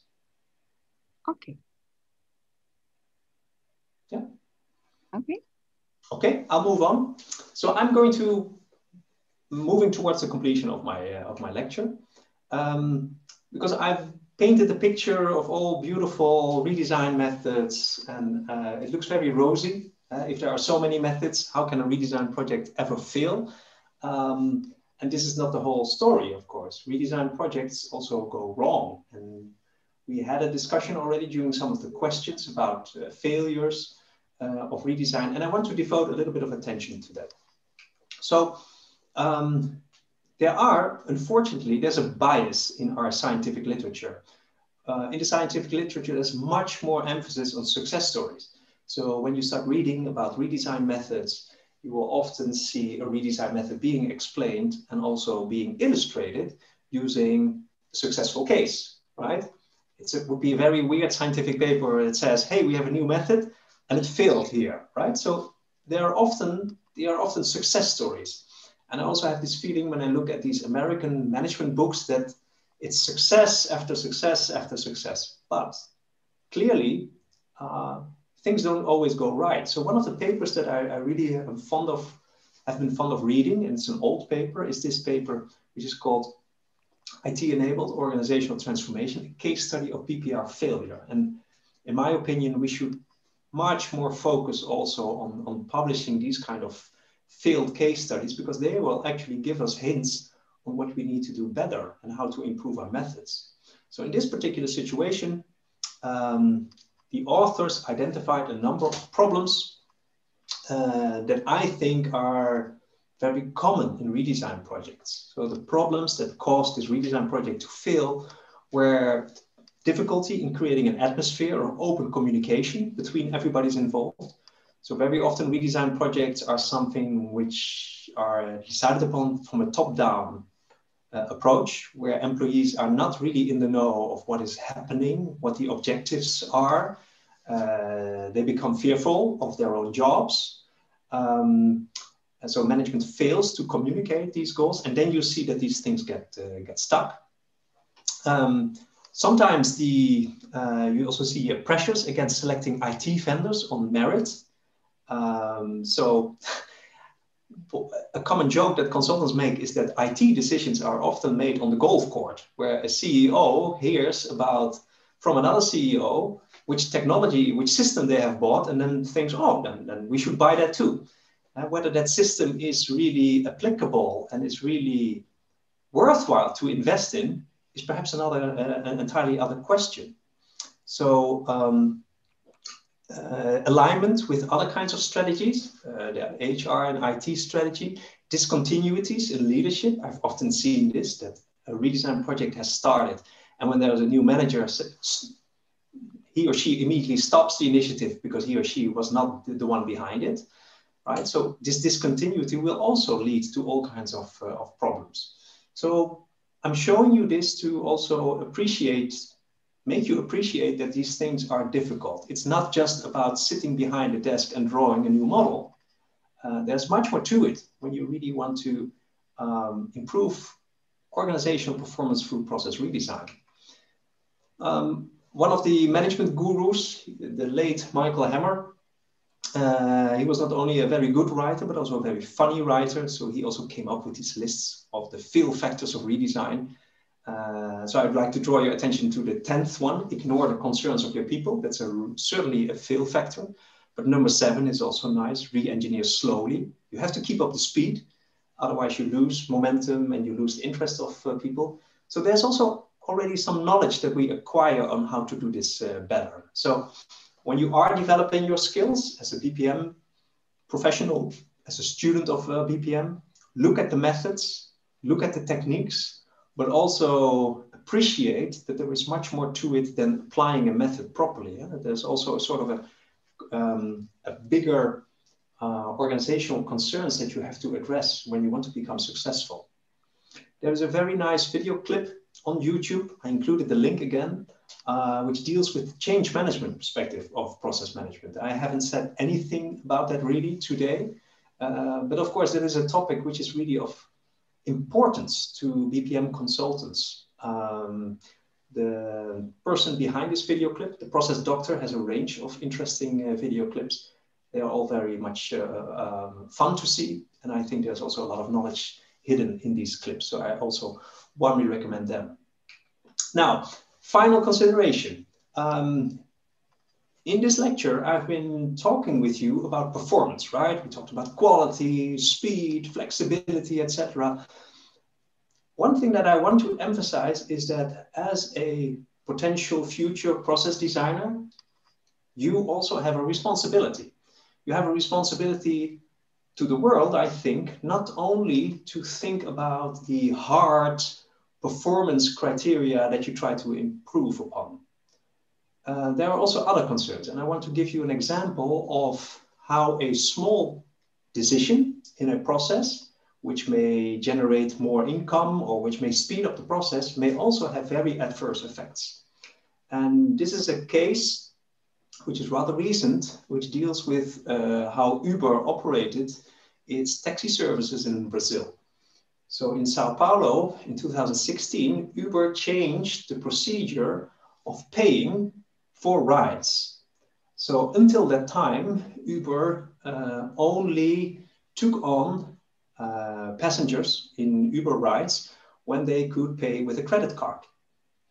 And obviously in Brazil, uh, not everybody has a credit card, nobody in the, nowhere in the world, but there are many people uh, who would prefer to pay cash. So Uber considered that this would generate, of course, much more revenues to change this and to allow customers to pay with cash which also meant that criminals became aware of that these Uber rides uh, and these Uber chauffeurs had cash with them when they would be picked up. So immediately when this measure was taken, crime against Uber drivers rose tenfold. Um, fake calls for these uh, taxis were and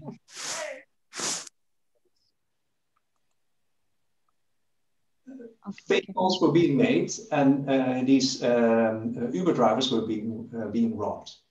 So this makes you, uh, perhaps this is a good example of showing that a small element in a business process, and this is just uh, the payment part of a bigger procedure on how to do this, may have a big effect. And I think we also have a responsibility as engineers, as designers, information systems professionals, also to consider the impact of these kind of decisions in other areas. All right. So by having said that, I come to my summary of the lecture. Uh, I try to convince you and show you that redesign is not easy, but very crucial for organizations. It's not easy in the sense that the redesign projects may fail if they are not embedded in the right organizational change, if they're not properly communicated, if you don't align the objectives of different people, if it doesn't fit with the strategic goals of the organization. Yet again, it is crucial that organizations get interested in this and try to improve either their broken processes or generate new things that they can uh, use to become more performative and also more competitive. Um, the main message in my lecture was that there was a range of redesign methods. So it's great if you are already familiar with one or two, but I think it would be, I, I, would be really pleased if you remember from this lecture that there is a whole toolbox of things out there and that it makes sense to get to know these different tools, these different methods, and that you skillfully apply these methods in the right situation. So don't use lean everywhere because you just happen to know lean. Think about the methods and the fit with the, let's say, the, the, the, the um, the organizational characteristics and the objectives of the organization.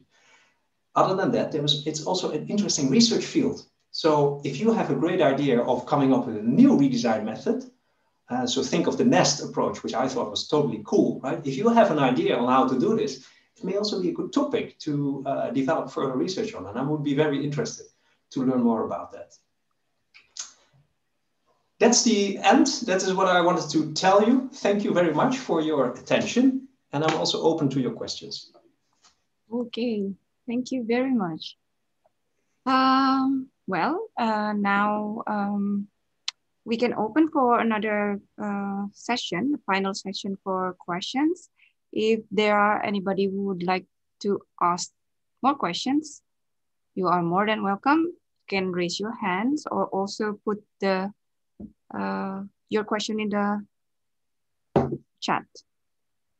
And okay, if Hasul Ham Amal, can you please? Yeah, thank uh, First of all, thank you, Bu Mahendra, for the opportunities. And thank you, Mr. Reijers. I hope I spell your name right for the really great insight today. Uh, my question is kind of regarding the context of the world we live in right now in the middle of the pandemic, right? So, you know, big companies and enterprise are kind of struggling right now, like big fashion companies and many manufacturer oriented companies that outsource their product making in China currently struggling with COVID, right? My question is, uh, is this a proof or an example of a very flawed uh, method of process designing before, like how these companies didn't think of the possibility of a global pandemic before that will stop the world economy, or maybe uh, this pandemic is, is one in a million accident that there will be no companies that actually going to be prepared regarding this uh, pandemic. Second question, you know, right now many companies are forced to change their process uh, business and starting to redesign their process, right? uh, is there any specific approach or specific things that should be taken into consideration when redesigning process, especially to cope in within the pandemic that we face right now? Okay, so two questions. First question is why has no company considered this uh, pan pandemic and then what redesign would be uh, appropriate for this kind of case? Yeah. So let me let me try to to give you my perspective. Uh, few organizations have seen this coming, of course, but I think there's a pattern, uh, a pattern that can be distinguished um, behind the problems that many organizations have dealing with the pandemic at the moment. I think that many organizations have become highly dependent on certain fixed cooperation structures, right? They have made very efficient operations they created very efficient collaborations between uh, organizations, but they lacked the flexibility to change these processes when uh, the pandemic, of course, uh, struck. So you see that organizations have overemphasized the efficiency on, on the efficiency dimension, uh, lacking sufficient flexibility to change things uh, when, when this disaster when this disaster struck. I think the disaster is so big that, of course, it was very difficult to anticipate exactly this. But I do think that many organizations now should consider why they do not have overemphasized the efficiency of their operations. For example, in the Netherlands, uh, we see that we lack capacity, um, hospital capacity to deal with the patients um, uh, that, that are, have become infected with COVID if we just look just across the border, where we look at a country like Germany, and it's very difficult for me to give compliments to Germany, uh, to be honest.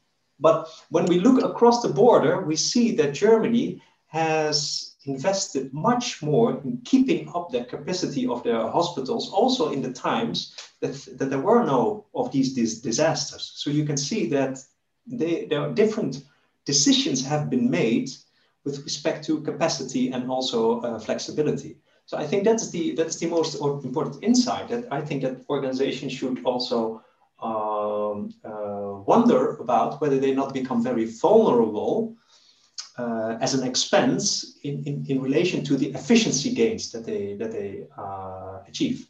And that, that is my my insight, I think. So your your second uh, question um, is whether there is anything that, that we can recommend organizations who now have to deal with, uh, with the pandemic uh, when they're going to design or redesign processes. So one of the things that I think is, is important is to think about the scalability and scalability is an aspect of flexibility. So whatever you do, I think it makes sense to really favor approaches which are easily scalable, right? If you think about, for example, um, airlines who have now to deal with all these customers making inquiries about you know canceled flights or compensation that they get but also perhaps are hoping that pretty soon uh, flights will have, uh, happen again they have to i think they have to anticipate that the demand for services may go up very quickly and down again so i would say that it makes sense to invest in technology but also in procedures where you can more easily scale up things. And so not just focus on, again, on efficiency and on speed, but, but focus on flexibility. So one of the reasons that I am so fond of this devil's quadrangle with the four dimensions and not just uh, um, cost and uh, quality and time, but also flexibility is that I think this is a sort of a underappreciated uh, performance dimension and that a pandemic actually shows how important uh, this dimension is. Does that, does that help? Yeah, I think it's pretty clear. Thank you, Mr. Reijers. You're welcome. Okay, um, any other questions, please? Still have, all right, Andika again. Uh, okay, thank you for the opportunity. Uh, I think right now there are uh, one more performance measure that is trending, sort of trending right now. It is uh, sustainability because big companies uh, right now they think of the environmental impact of their processes and what yeah. do you think about that? What are your opinion about that? I think that sustainability is uh, indeed is uh, a very important consideration, and I am very glad that many organizations are looking, uh, are considering this now as a performance dimension, which is crucial to them. So a couple of years ago, I thought that many organizations mentioned this as being important, but did not really follow up on this. But I can see more and more examples of organizations that also realize that this is not only something good to do for the world, but it also is attractive for a lot of their customers that they are dealing with companies which are ethical, which invest in uh, sustainable, uh, sustainable production process, etc. So I, I, I, see that this is taking off, and I, I, am really happy to, to see that. So you can argue about, you can always argue about whether this is a separate uh, uh dimension uh, or, and uh, for now, I, I, can, I see it as a specific kind of quality dimension. It's a sort of a quality of life, but also external qualities, quality of for the world, right? Quality of the environment. So it's not only quality of the product and the internal process, but a wider conception of quality. But you know, I don't really mind whether you would call it a separate dimension or subsumed on another dimension. What I think is much more important that it should be recognized as something, uh, as a target for an organization to, to really focus on when they start improving, uh, improving their processes. Uh, okay, thank you for your answer. Thank you for the question. Okay. Um, any others? Mm.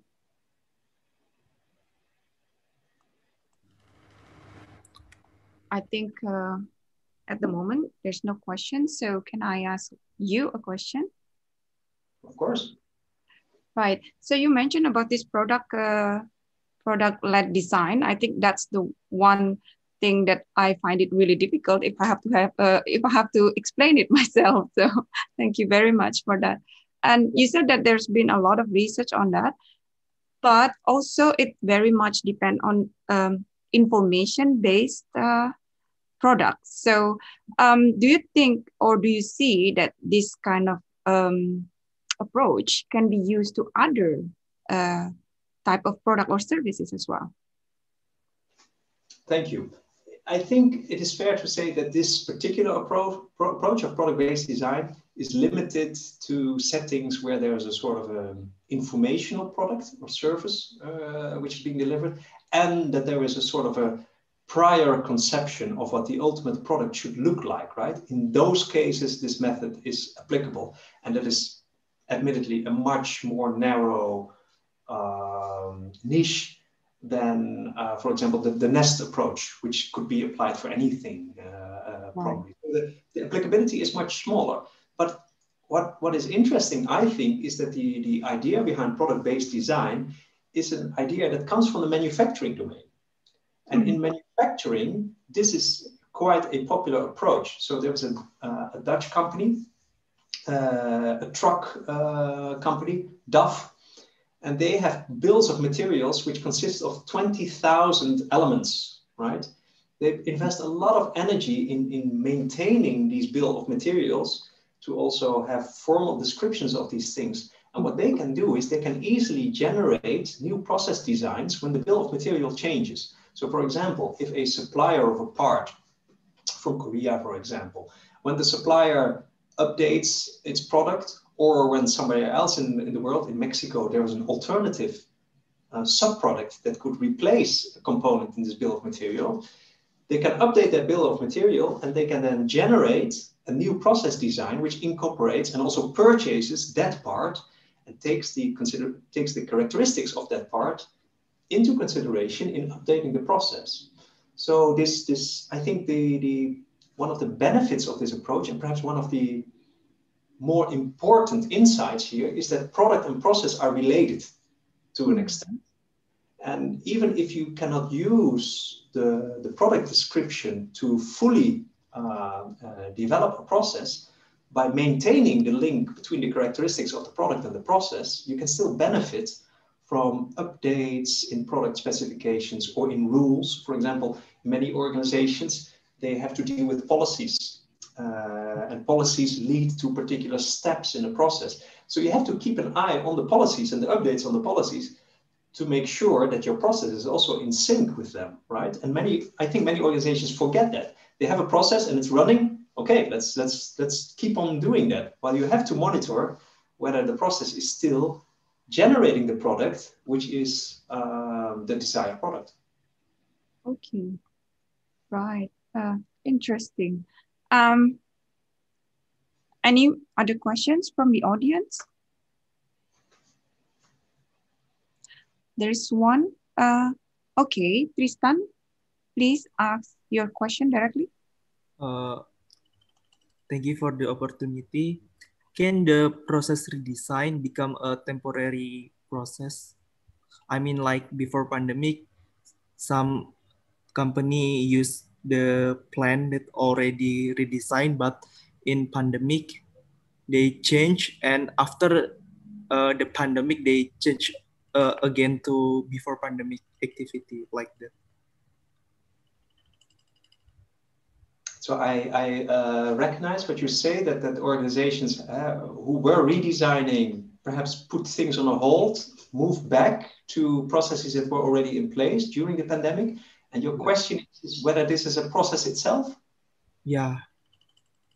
Is it possible to have this kind of flexibility where where you have a certain process and then yeah. during the pandemic you rede- redesign it but then after that you go back to your previous uh, design is that what you mean tristan yeah yeah yeah so that's that's a that's a good question so um, once again, it, it, relates to a little bit of the flexibility of the process. Let me give you an example of uh, how uh, insurance companies in the Netherlands work. Uh, insurance companies who have um, uh, who sell car insurance, right? So one of the things that they do is that they have a sort of an intricate procedure when you try to claim your car damage, right? They have to check the damage. Uh, there's an expert who has to look at your damage if it's if it's really big to assess uh, how much money it involves. Uh, there's contact with a um, car repair shop. Uh, so there are all kinds of these steps. However, when uh, an insurance company, when, when professionals of the insurance company see on the evening news that it's going to be freezing the next day in the morning, they change a parameter of their process so that people who start in the Netherlands then crashing into each other because they cannot deal with the slippery roads and they crash into each other and they start filing uh, uh, cases all of a sudden. So you uh, all of a sudden have hundreds of cases at the same time, where you in the summertime perhaps one or two in the same time period. They change the, the parameter of the process so that first claims are being processed and are approved, and only later there's a there's a, a complex check on whether these uh, damages were genuine. So they, it's the same process, but they have in fact two variants of the process already in place. And they can dynamically switch between which process is being used depending on the circumstances. And you can imagine, of course, that one variant is much more meticulous, is much, much more uh, careful than the other one. But if they would keep on insisting for all these hundreds of new complaints that they first have the damage assessed, you know, on a winter morning, then they will lose a lot of customers because they will be very unsatisfied with, with the way they are being helped.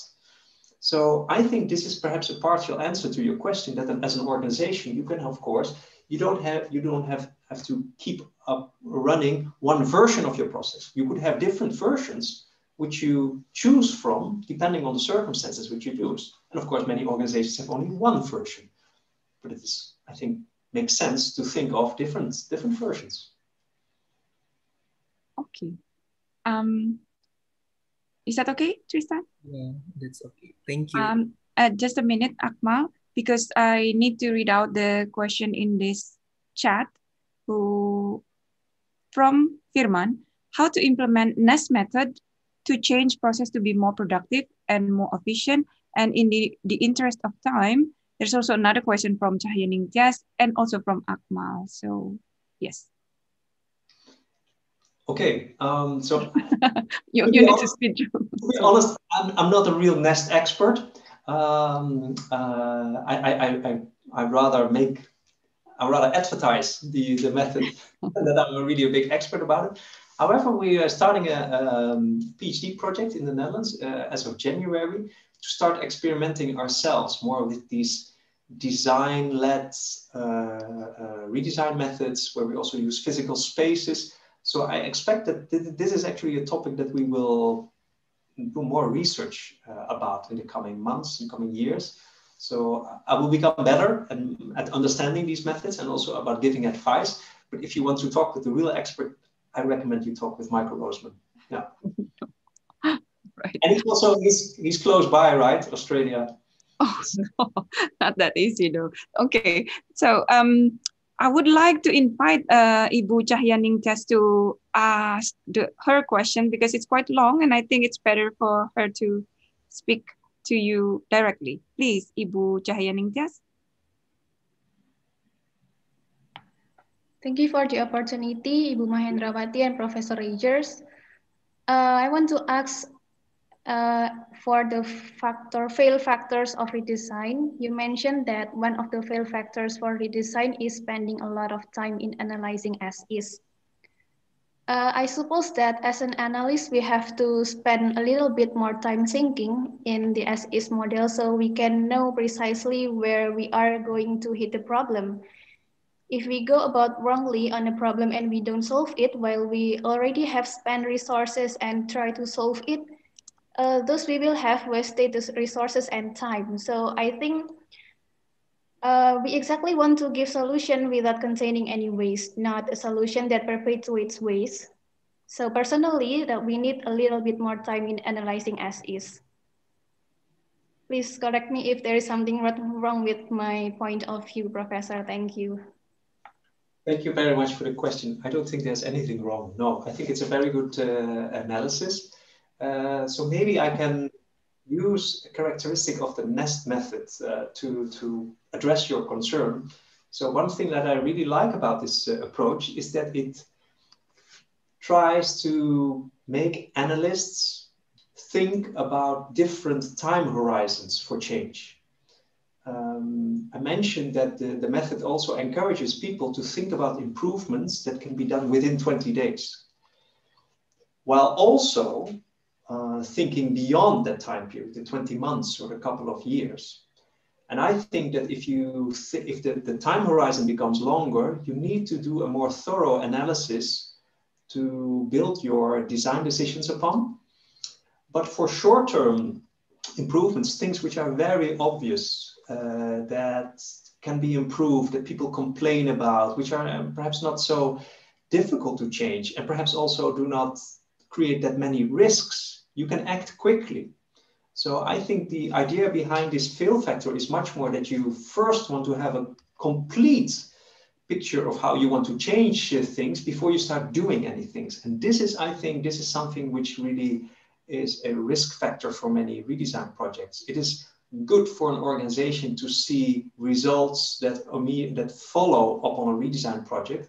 But I also agree with you that you don't want to implement things if you haven't thought them through. But I think it's an opportunity to do both, to also a very common, it's a consultant's term. I don't like to use it so often, but you know, you hear it everybody, everywhere, low hanging fruit, right? That is, that is the term which still captures what is, what is perhaps something that you could achieve in a project in the short run while addressing bigger concerns on, on the basis of a more thorough analysis. Is, is that, is that um, answering your, your question or your concern? Thank you, Professor. Okay. Um, it's actually, eh, do you mind to take these last two questions? No, not at all. Okay. So uh, Fata says, you mentioned four criteria to measure each process, quality, speed, um, dot, dot. Is it similar with my opinion about effectiveness and efficiency? I guess. Alhamdulillah. Sorry. Um,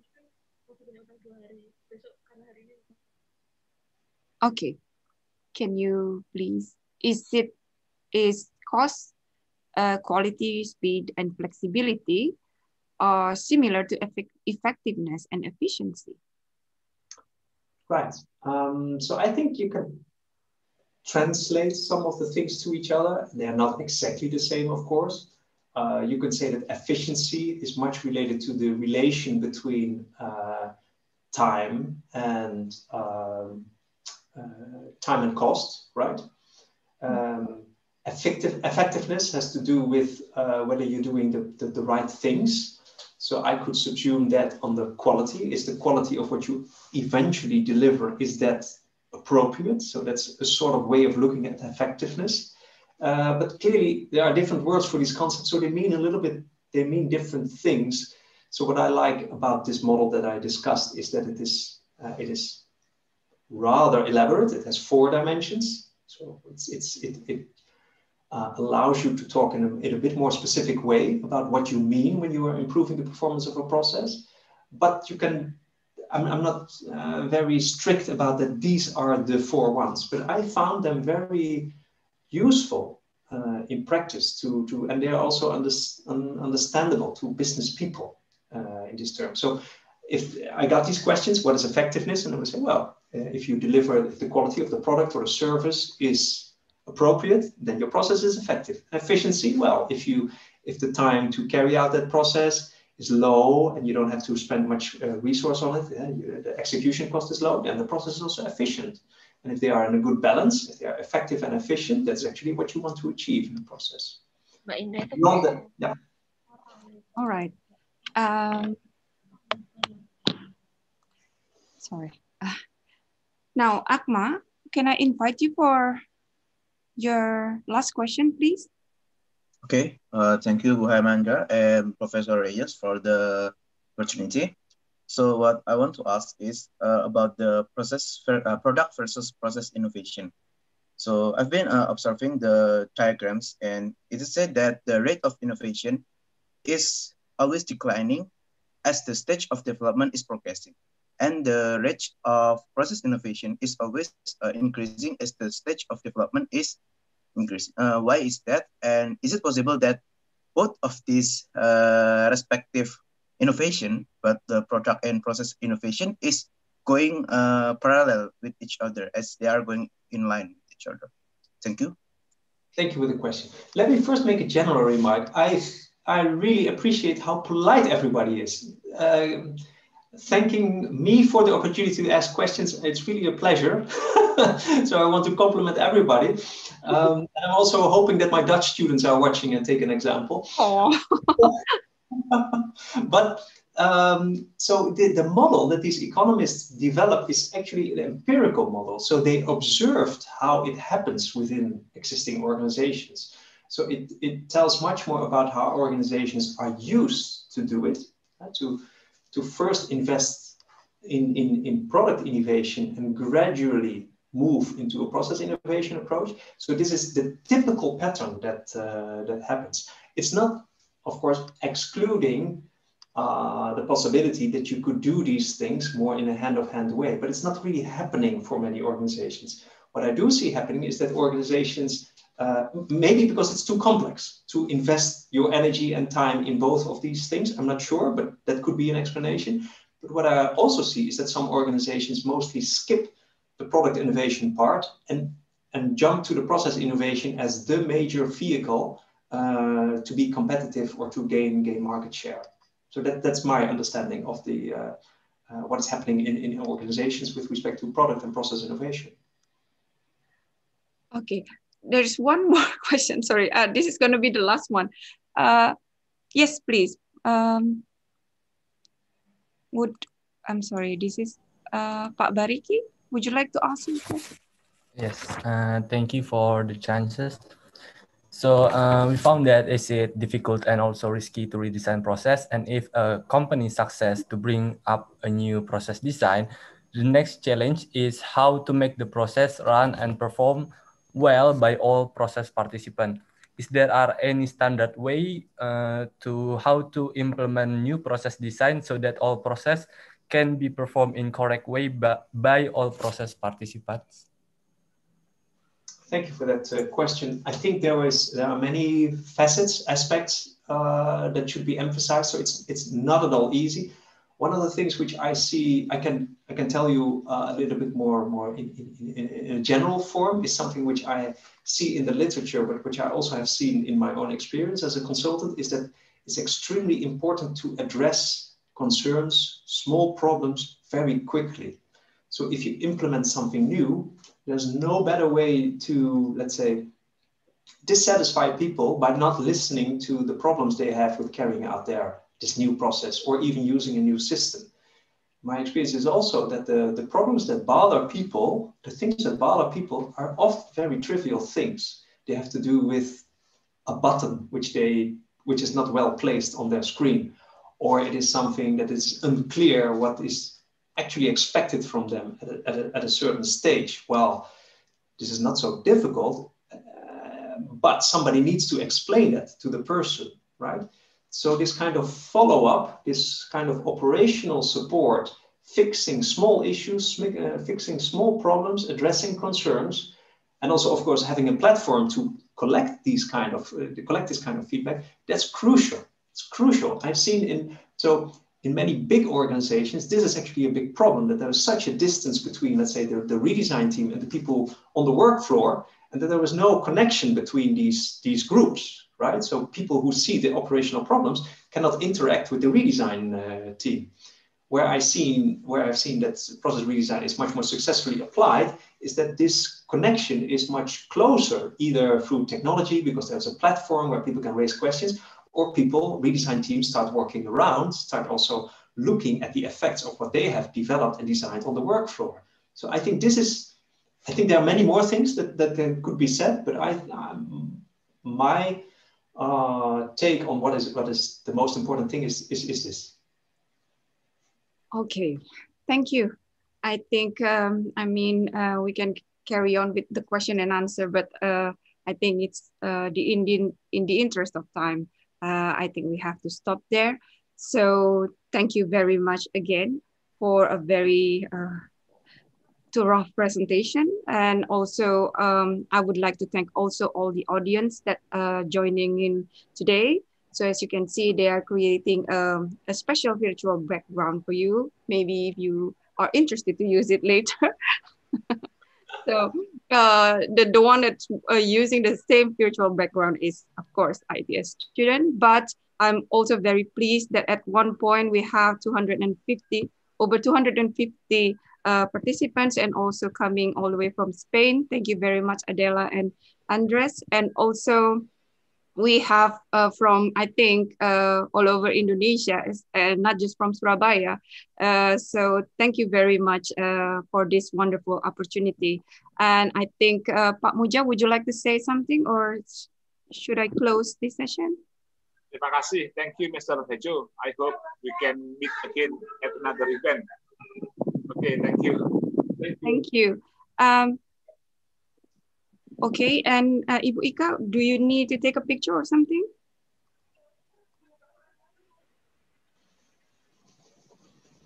Oh, sorry, it's muted. yes, it would be great if we take a picture together. All right. Okay. So, do we yes. need to the what about this? Stop uh, the screen share. Yes. Yeah. Okay. Thank you. Cool. All right. So there's gonna uh, be a uh, lot of pages. Yeah, it nine pages. okay. so bear with us. We love our pictures a lot. Okay. So we start from the first page. Everyone ready? Three, two, one. Uh, hold on. it's liking. Okay. Uh, hold a second. Oops. Oh, it's lagging. this is gonna take a long time. yes. Okay, now. So who's in number two page? yeah, page number two. Three, two, one. All right. I think we don't need to do all. No. Okay.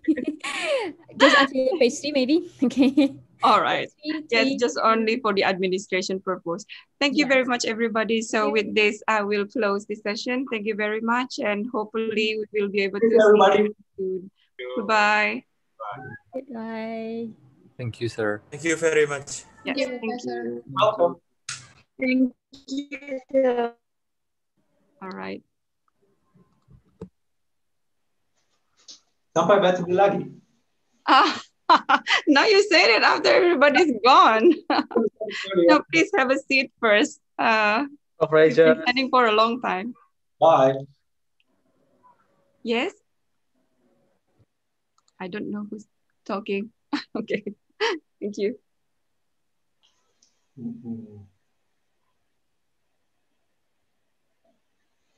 Okay, thank you, everybody. We'll just wait here until everybody's left. I'll make a short stop. I'll be Sure, back. in- please. Yeah, please. Thank you.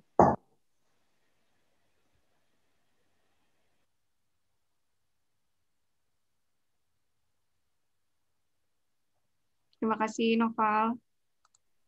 Ya, Bu. May I leave now, ma'am? Yes, please. I mean, you uh, apa? Kok saya jadi ngomong bahasa Inggris lupa? Lupa. Uh, ya, It's sudah. okay, it's okay. Sudah boleh. Terima kasih semuanya. Thank you. Ya. Uh, uh, Bu Mahendra, untuk recordingnya mungkin apa nanti bakal di-share atau enggak? A- ada di YouTube.